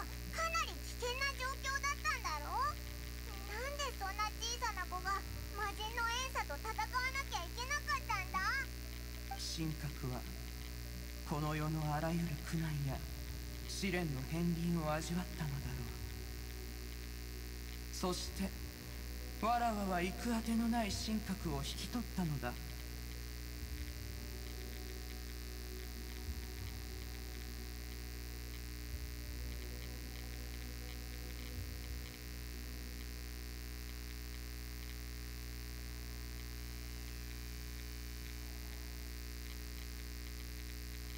おそらくわらわのことだろう。神格の体質は特別なもので戦術の修行に適しておった。わらわと他の仙人たちはその見事な際に可能性を見出し技を伝授することにしたのだ。しかし子供の頃より放たれていた殺意は年を重ねても消えることなくむしろ日を追うごとに増していった。ある日昨月畜養神君があの子を占ったことがあった。神格は孤独であだなす者その身には邪気が宿り友人や家族に災いをもたらすことがままあると出た。矜持の兆しであったため赤紐で魂に枷を加えお。殺意を抑制させたのだ。赤紐で縛られてんな。神格はだいぶ落ち着くようになった。表情も和らいだが代わりに少し朴突としてしまってな。赤紐の力が強すぎたゆえに他の感情をも抑え込んでしまったのだろう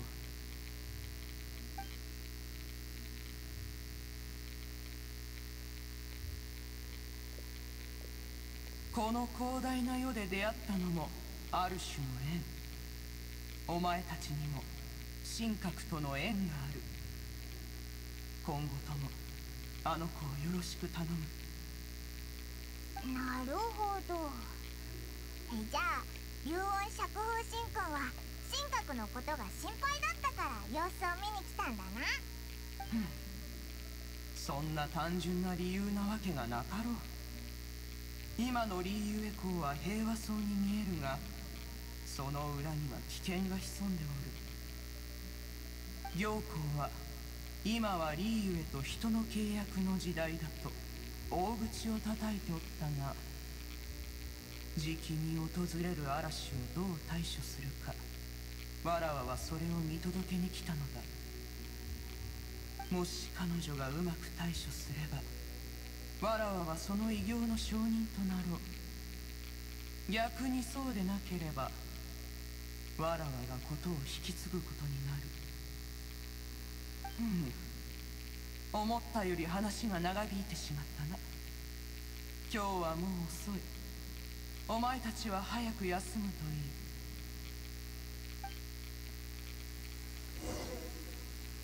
お？神格は仙人じゃなくて仙人に育以前新リーユエコ劇中では。だから仙人扱いされると困ってたのか。他人から必要以上に敬意を払われたら逆に気を使っちゃうもんな。うん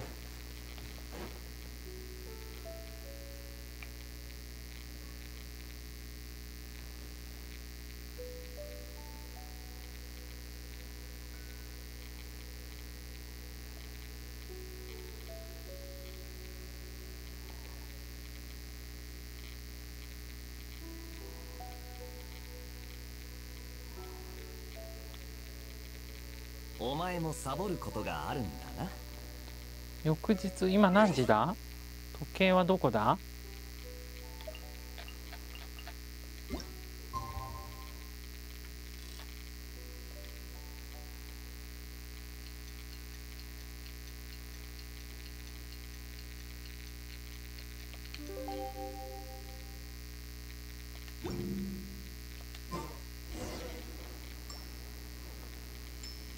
で朝になりました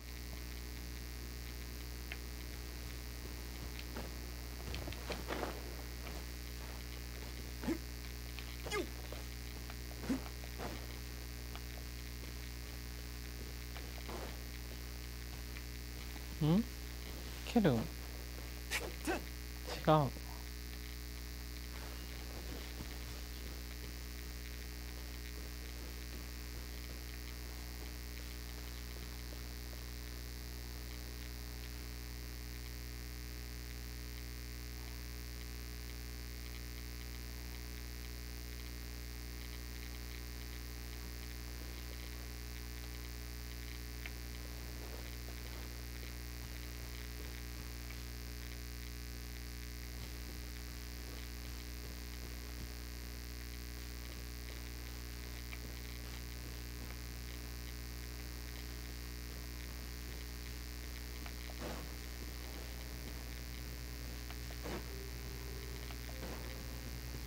えー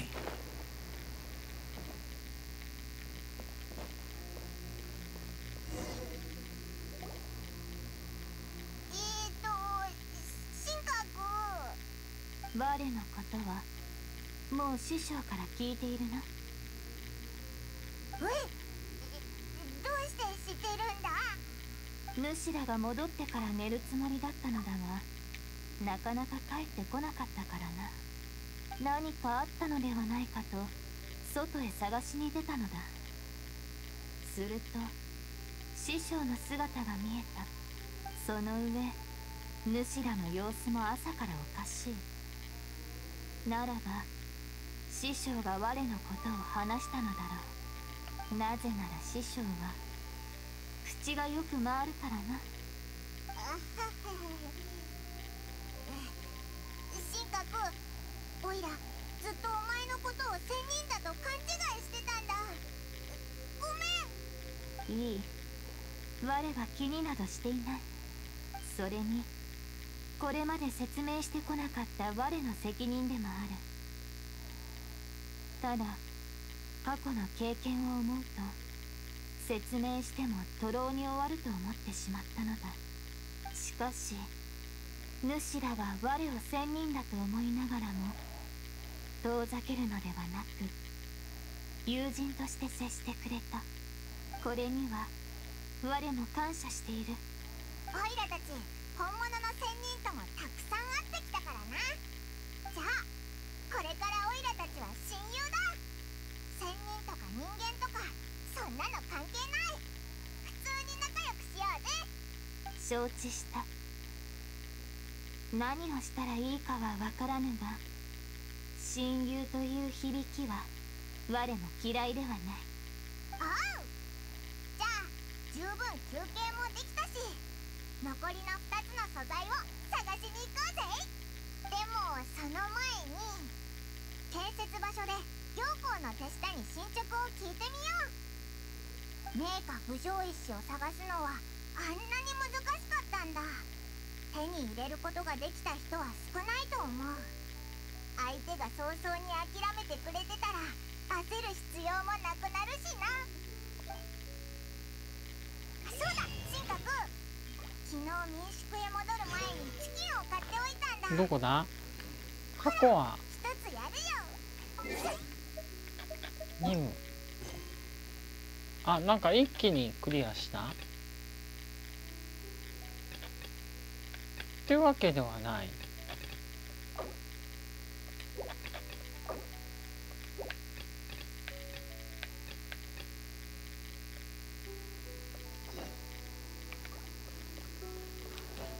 かに。風味が豊かで。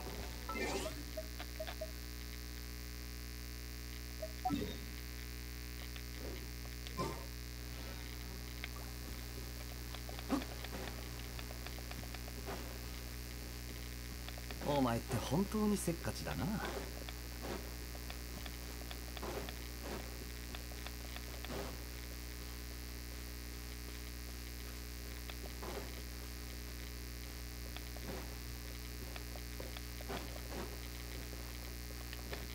見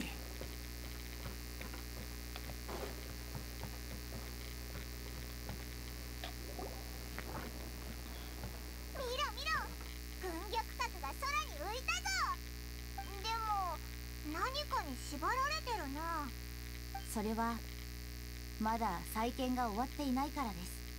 百分北斗もいる。それにえー、っと知らない人？軍玉角はかなりの大きさですのでバランスを確保するため再建作業を2つに分けています。適した浮上の石が見つかるまでの期間を利用して地上で軍玉角の土台となる部分を作ります浮上の石の用意ができたら浮上の石と土台を組み合わせ部分的に完成した軍玉角を山の頂と同じ高さまで浮かせる。その後の作業は上空で行う予定になっています。準備が整い次第つなぎ止めている縄を外して軍玉角をあるべき高さまで飛ばすのです。百分さん新しい素材を持ってきたんだが少々お待ちください。すぐ伺います。再建作業が順調に進んでいるのもあなたが見つけてくれた浮上の石のおかげです。陽光様もあなたたちに期待しているとおっしゃっていました。よまさか一番重要な浮上の石をこんなにも早く見つけちまうとはな。私らはちっと出遅れちまったみたいだ。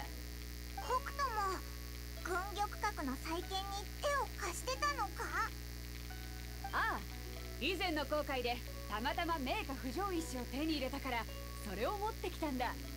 名家不条石は貴重なものだけど見つけられたのはオイラたちだけじゃなかったみたいだな。そうだ。紹介しよう。彼女はリーユへの看板役者のウンキン。ウン先生だ。こんにちはこの二人はパイモンと旅人。私の古くからの知り合いだ。それとそっちの彼女は初めて会うな。神格二人の友人だ。そうかしこまるな。友達の友達なら私にとっても友達みたいなもんだ。ウン先生も今回の再建に参加しててな。ちょうど私の船を貸すことになったから一緒についてきたんだお二方の異名はよく存じております。お会いできて光栄です。神格さんも初めてお会いしますがこれから先いい関係を築けそうな予感がしています。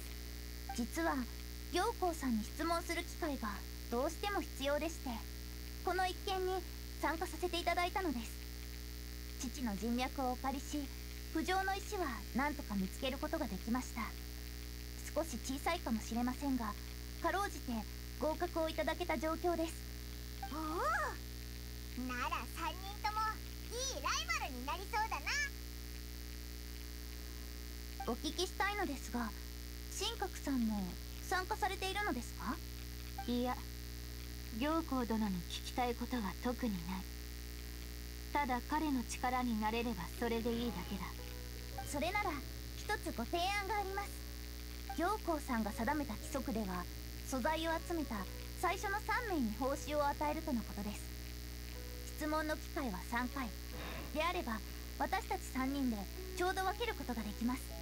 お互い競い合うよりもここは一致団結しこの3名分の権利を手にしてはどうでしょう。おおそれはいいかもな。具体的にどうすればいいんだ？はっはウン先生の意図が分かったぞ一番困難であろう浮上の石は3人ともすでに見つけている。残り2つの素材はそれに比べたらまだ手に入りやすいもんだ。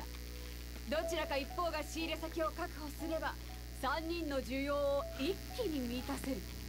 そうだろうウン先生。はい。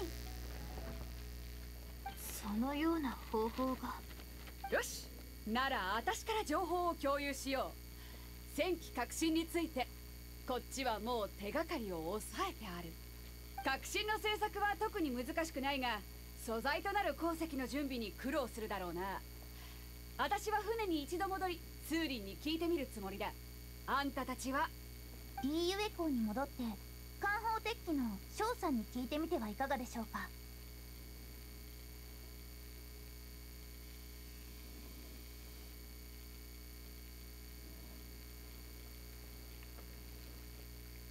よし方針がまとまったようだな。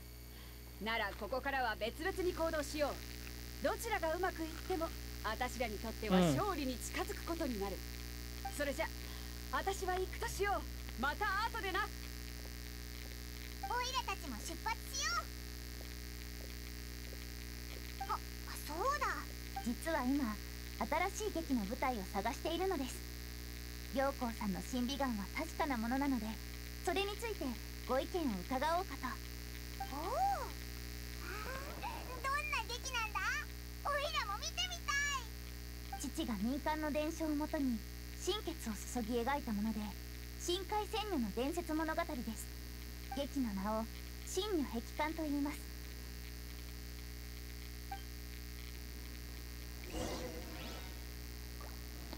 次は？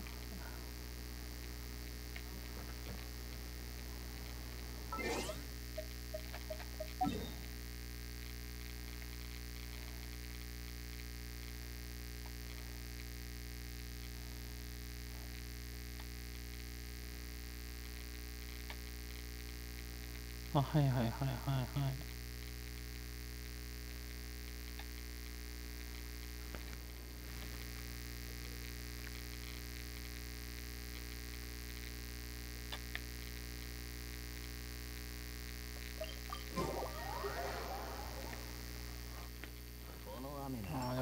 力ももっと強くなるはずだ。面白い。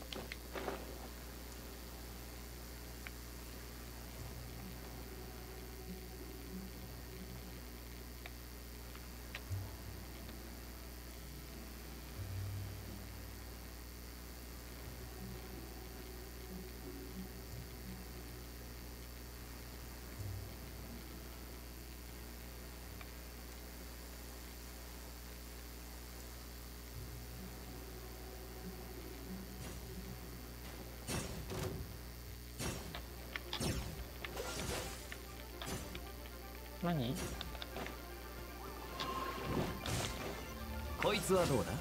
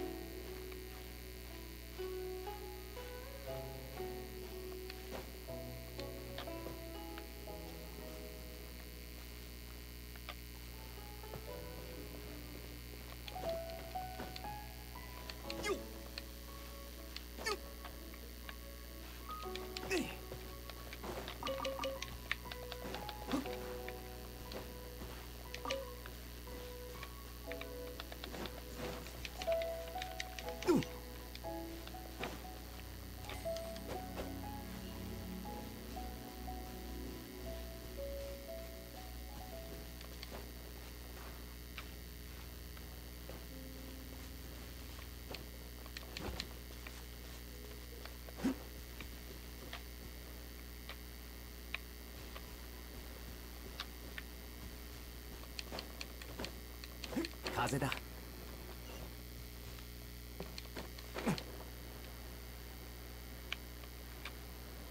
なんだあれ。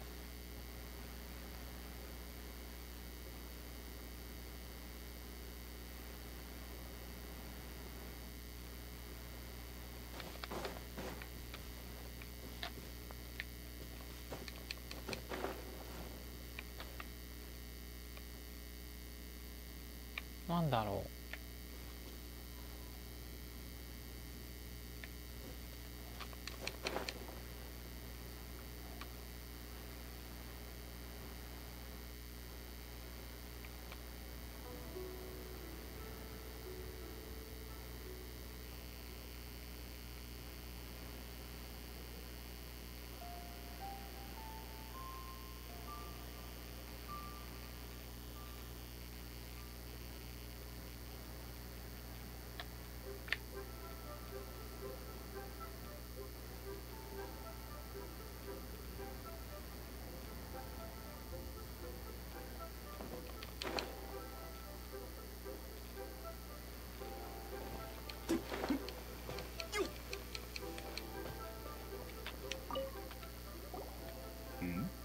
あれ？お前たちか。今日は何か買いに来たのか？それとも鍛造の依頼に？翔さんお疲れ様です。お伺いしたいことがあるのですが戦機革新というものを聞いたことはありますか？ああそれはもちろんあるがお前さんは？申し遅れました。私は運金翔さんは覚えていらっしゃらないかもしれませんが以前父が舞台で使う武具を依頼したことがあります。運気舞台？あああまさかお前さんがあの運先生なのか？すまんすまん。鍛造に集中しすぎて頭が回ってなかった。運先生の名前は俺みたいなあまり劇を見ない人間でも知っている。で戦機革新について聞きに来たんだったな。無論俺ならそれを作ることができる。作る？過去の軍玉閣の建設でも行幸様のために作ったことがあるからな。ただ戦機革新を作るのに必要な鉱石はかなり希少なものだ。前回は行幸様が用意してくれたんだがお前さんたちは持ってんのか？いやまだ持ってないんだ。ないんか。だから何が必要なのか教えてくれないか？残念。なるほどそういうことか。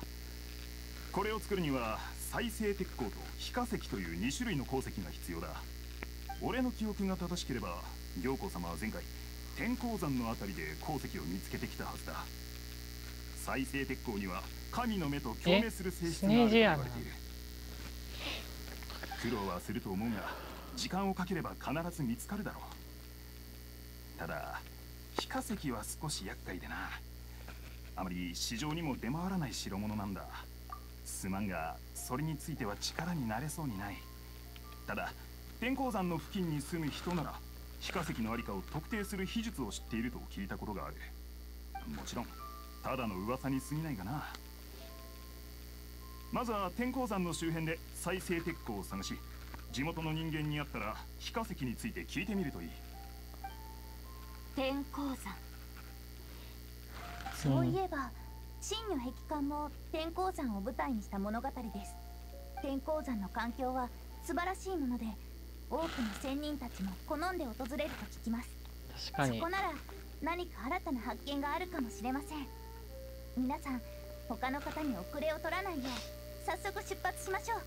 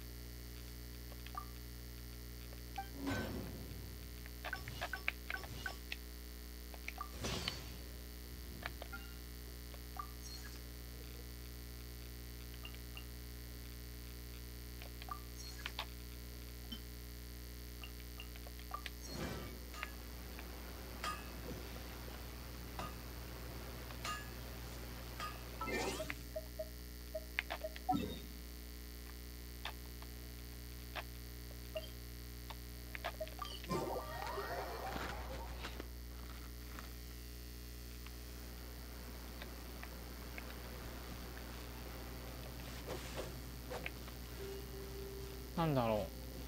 あ。幼い頃父と一緒に天鉱山を訪れたことがあります。あまりにも高い山でしたので頂上にたどり着いた時には足が棒のようになっていたことを今でも覚えています。今日その思い出深い地を再び巡ることになるのですね。この険しい山道と流れる水を見てください。うん。まるで桃源郷のようです。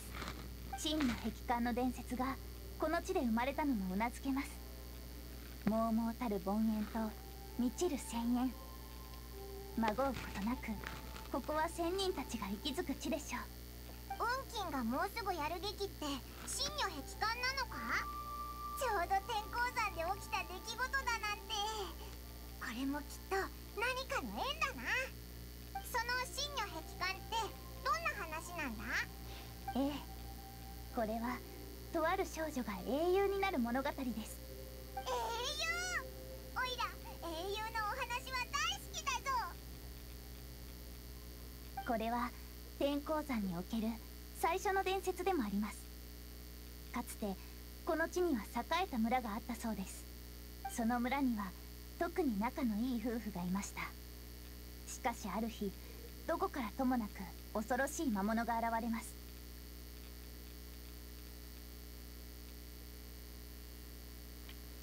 外で薬草を取っていた妻はその魔物にさらわれてしまいました。夫はその出来事に打ちひしがれ心が病んでしまいます。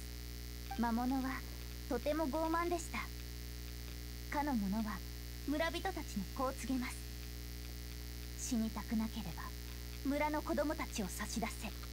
おミノタウロスを皿なんて悪いやつなんだ。ちゃんと懲らしめてやらないと。しかしその魔物の力は強大でした。村人たちは恐怖のあまりその要求を飲まざるを得なかったのです。誰の子供を魔物に捧げるかそれを話し合っていた時突如一人の少女が名乗りを上げます。その少女ってまさか少女はふつまの剣を身に隠し怯えたふりをしながら魔物の巣へと近づきました。そして勇敢にも立ち向かい苦闘の末ついに魔物を退治したのです。その後少女は優れた素質から仙人に引き取られ幸せな結末を迎えます。ただ残念ながら仙人と人間には永遠の隔たりがあります。彼女が属性に戻ることは二度とありませんでした。うん。秒々たるこの世晴れゆく霧。これが真の壁観の最後です。なかなか面白い物語であった。ただ我が思うにその少女は語られているほど勇敢なものではなかったように思う。もろ手を挙げて称賛するのはいささか賛同しにくいそのように考えたことはありませんでした。劇を創作する際その理解を深めるのと同時に物語の展開を考慮しなければなりません。ですので必然的に実在する物語を改変する必要があります。この劇を父が書いた時おそらく物語の核心である信念に脚色を加えより多くの人々に感動を与えようと思ったのでしょう。ああでも良い物語であることには違いない。我が理想とするような物語だ。うんうん。いい話を聞いたらなんだかオイラもやる気が湧いてきたぞ。よし。オイラたちも頑張って再生鉄鋼を探そうぜ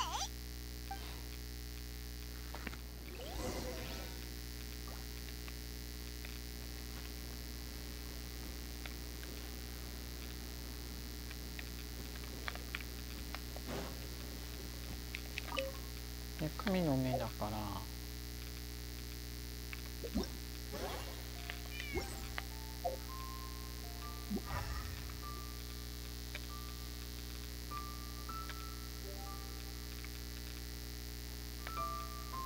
騎士団の仲間たちも今じゃ忙しくて手が回らないんだ。分からん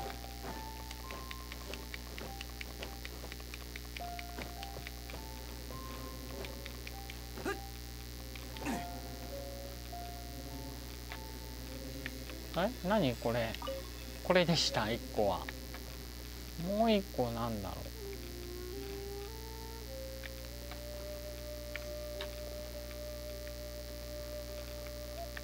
う。まあとりあえずやっとこう。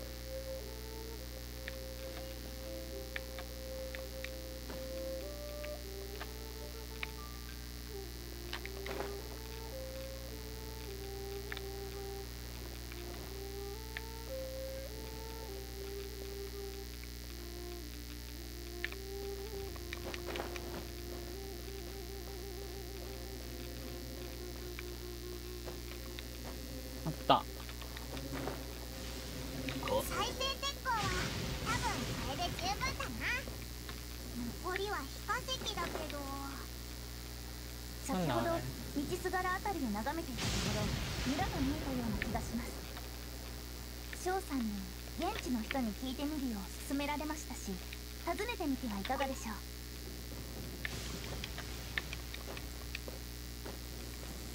行ってみよう。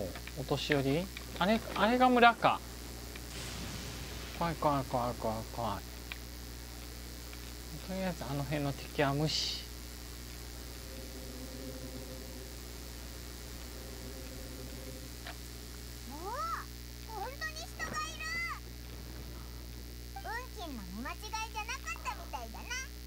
なんか浮かぬ顔だなオイラたち聞きたいことがあるんだけどあれ聞こえなかったのかなすみません通りすがりのものですが非化石に関してお伺いしてもよろしいでしょうか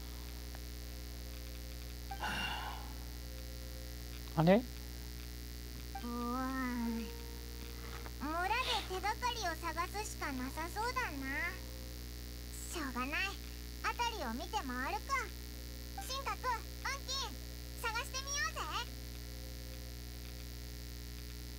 すまない先に行っていてくれおや我は彼と話がしたい。よいか？名春寺よお前は？神格だ。神格？生きていたのか？まさかあの噂は本当だったと？今までお前は？すまない非化石のありかを俺は知らんだが村の記録に多少ないとも情報が残っているかもしれない。この村はとうに廃れている。訪れる人なんかいやしない。好きに調べて問題ないだろう。え？このおじさんと神格って知り合いだったのか？ありがとうございます。では私どもで調べさせていただきます。あの名春さんという方特に神格さんへの悪意はなさそうでした。神格さんに危険が及ぶことはないでしょう。心配は無用だと思いますああそうっぽいなじゃあオイラたちは先に村の中を探させてもらおうぜ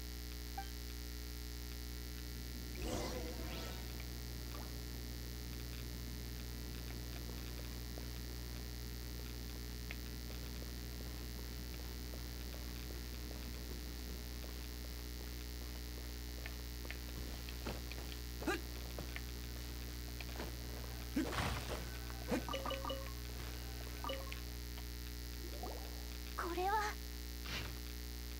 なんか書いてる。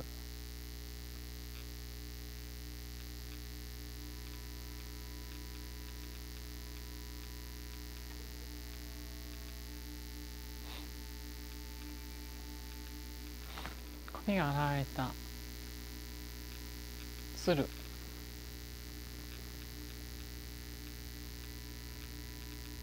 捨てた。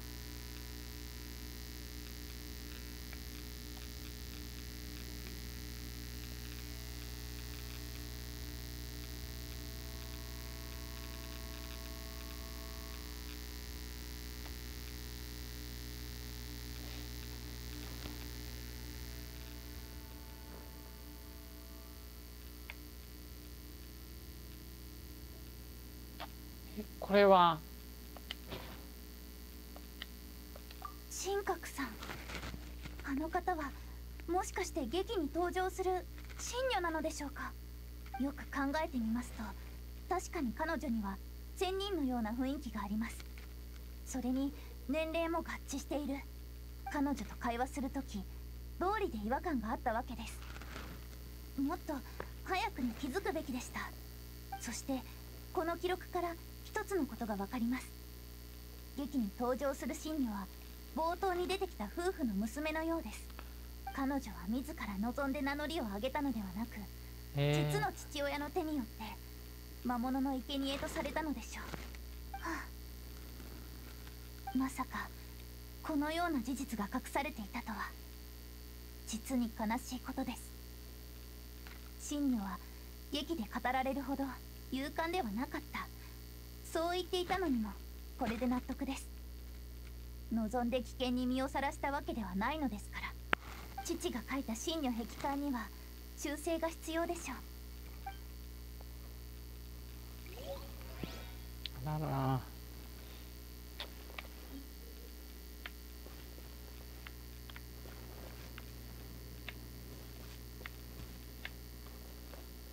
んなんか隠れてる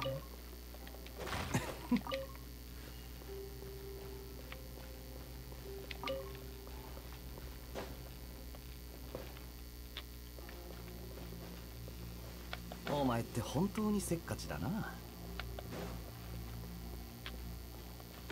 ここか？今度は。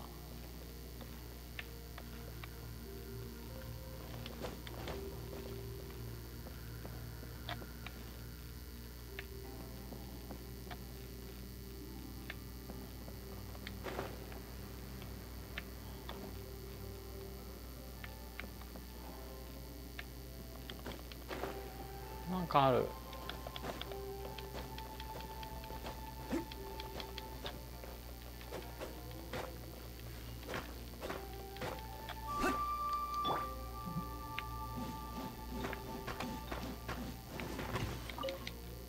多分赤白か。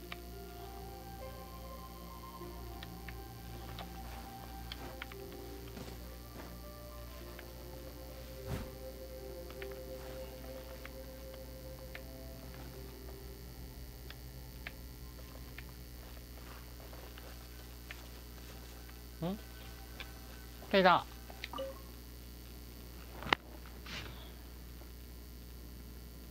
これらを踏まえると神格さんの父は秘術で神々を呼び出したのではなく魔人の残骸からなる魔物をおびき寄せたようです。亡き妻への執着が悲劇の引き金となりそして真実を知らない村人たちは別の地へと移り住んだ。ここが廃村になったのもうなずけます。ただ先ほどお会いした名春さんは神格さんの家とどのような関係があったのでしょう？はあ一通り回ってみたけど。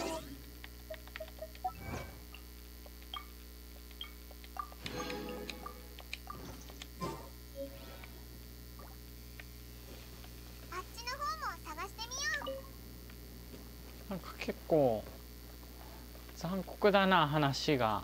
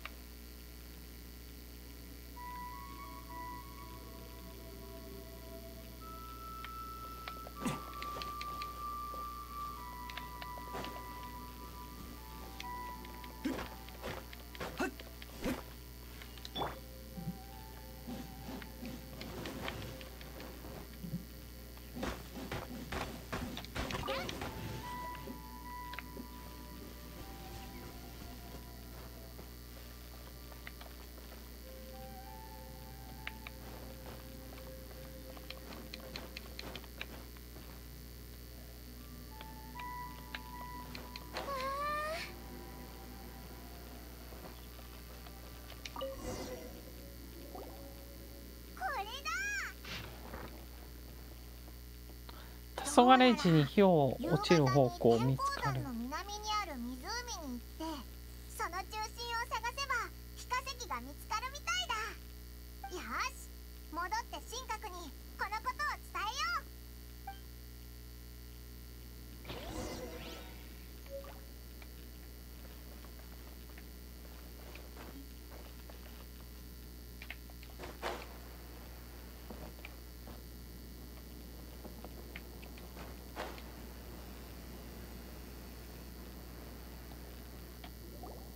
1年前。ここに帰ってきた時通りすがりの商人から白い髪の鮮魚の物語を聞いた。まさかそれがお前のことだったとはな。俺はお前の父親と仲が良かった。うん。そうだな。儀式を止める機会もあっただろう。しかしそのまま見て見ぬふりをし見てみぬふり重大な過ちを犯してしまった。俺は見殺し。ここへ花を持って帰ってくるんだお前たちに謝りたいという気持ちを心に抱きながら親子か。なぜ謝る必要がある？あの時主が強行を止めていたとしてもきっと他の手段によって災いが降りかかっていただろう愛する者のためならばあの男は何でもする。あの男？そのあいつのことをまだ憎んでいるのか？それは分からぬ。我は孤独であだなす者。それゆえ師匠の赤紐によって魂を縛られ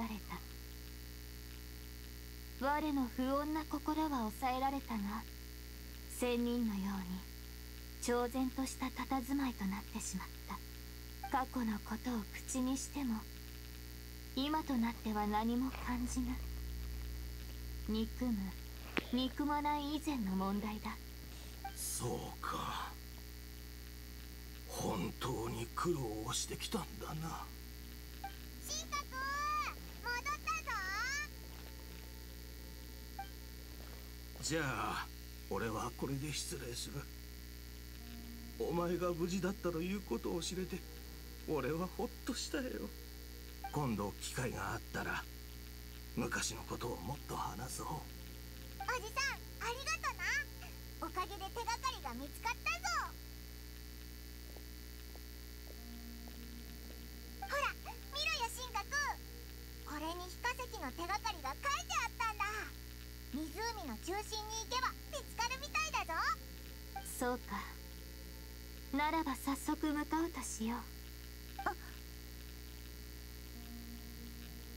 神格さん一つご相談したいことがあります。先ほどあなたの父親が書いた手記を村の中で見つけました。真の壁画には事実をねじ曲げた記載が多々あります。ですのでその内容を修正したいのです。なぜ修正する必要がある？先ほどもお話ししたように劇とは実際に起きた出来事を改変したものそれでも劇の主役となった方がすぐ目の前にいるのです。コラみたいな感じか気持ちを無視することはできません。構わない。先ほど主が語った劇を。我はとても気に入っている。え？己の力を人のために使えるようになった時。本当の意味で人間の社会に溶け込むことができると師匠は言っていた。それゆえ我もいずれは劇で語られる人物のように己を顧みず人々を守りたい。今までこのように考えたことはなかった。この先も同じ気持ちのままでいれるかはわからないが。いえご安心ください。その気持ちがなくなることはありません。私から見てあなたはすでに変わりつつあるように思います。ただそれに気づくためのきっかけが必要だったのでしょう。神格ウンキおしゃべりしてないで早く出発しようぜじゃないと誰かに先を越されちゃうぞ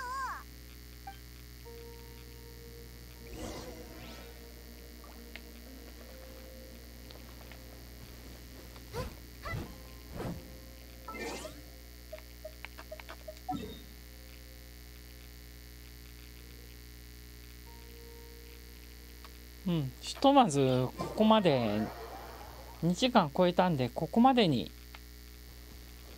したいと思います。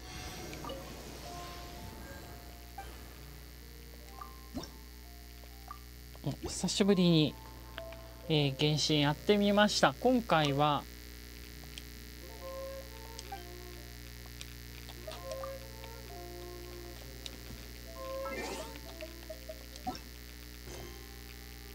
風立ち師通の帰郷ですね。鑑賞第1章ということですね。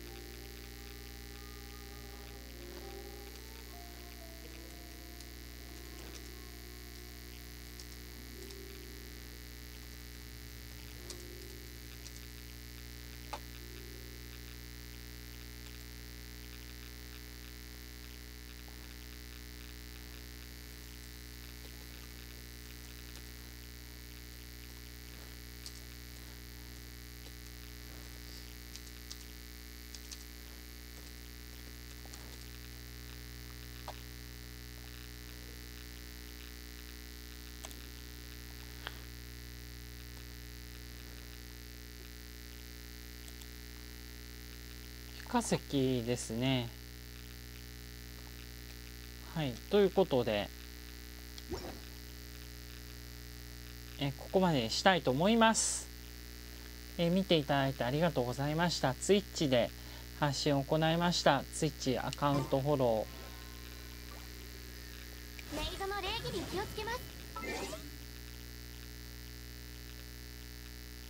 ー、えー、Twitch アカウントフォローお願いいたします。Please my ッチアカウントフォロープリーズ、え。そして、え、アーカイブを YouTube にアップロード予定です。YouTube チャンネル登録、高評価お願いいたします。This live archive my YouTube チャンネル two days after my YouTube チャンネルチャンネルサブスクライブドアングッドボタンプリーズ。え、旧ツイッターである X のアカウントを持っております。アカウントのフォローリポストいいねお願いいたします。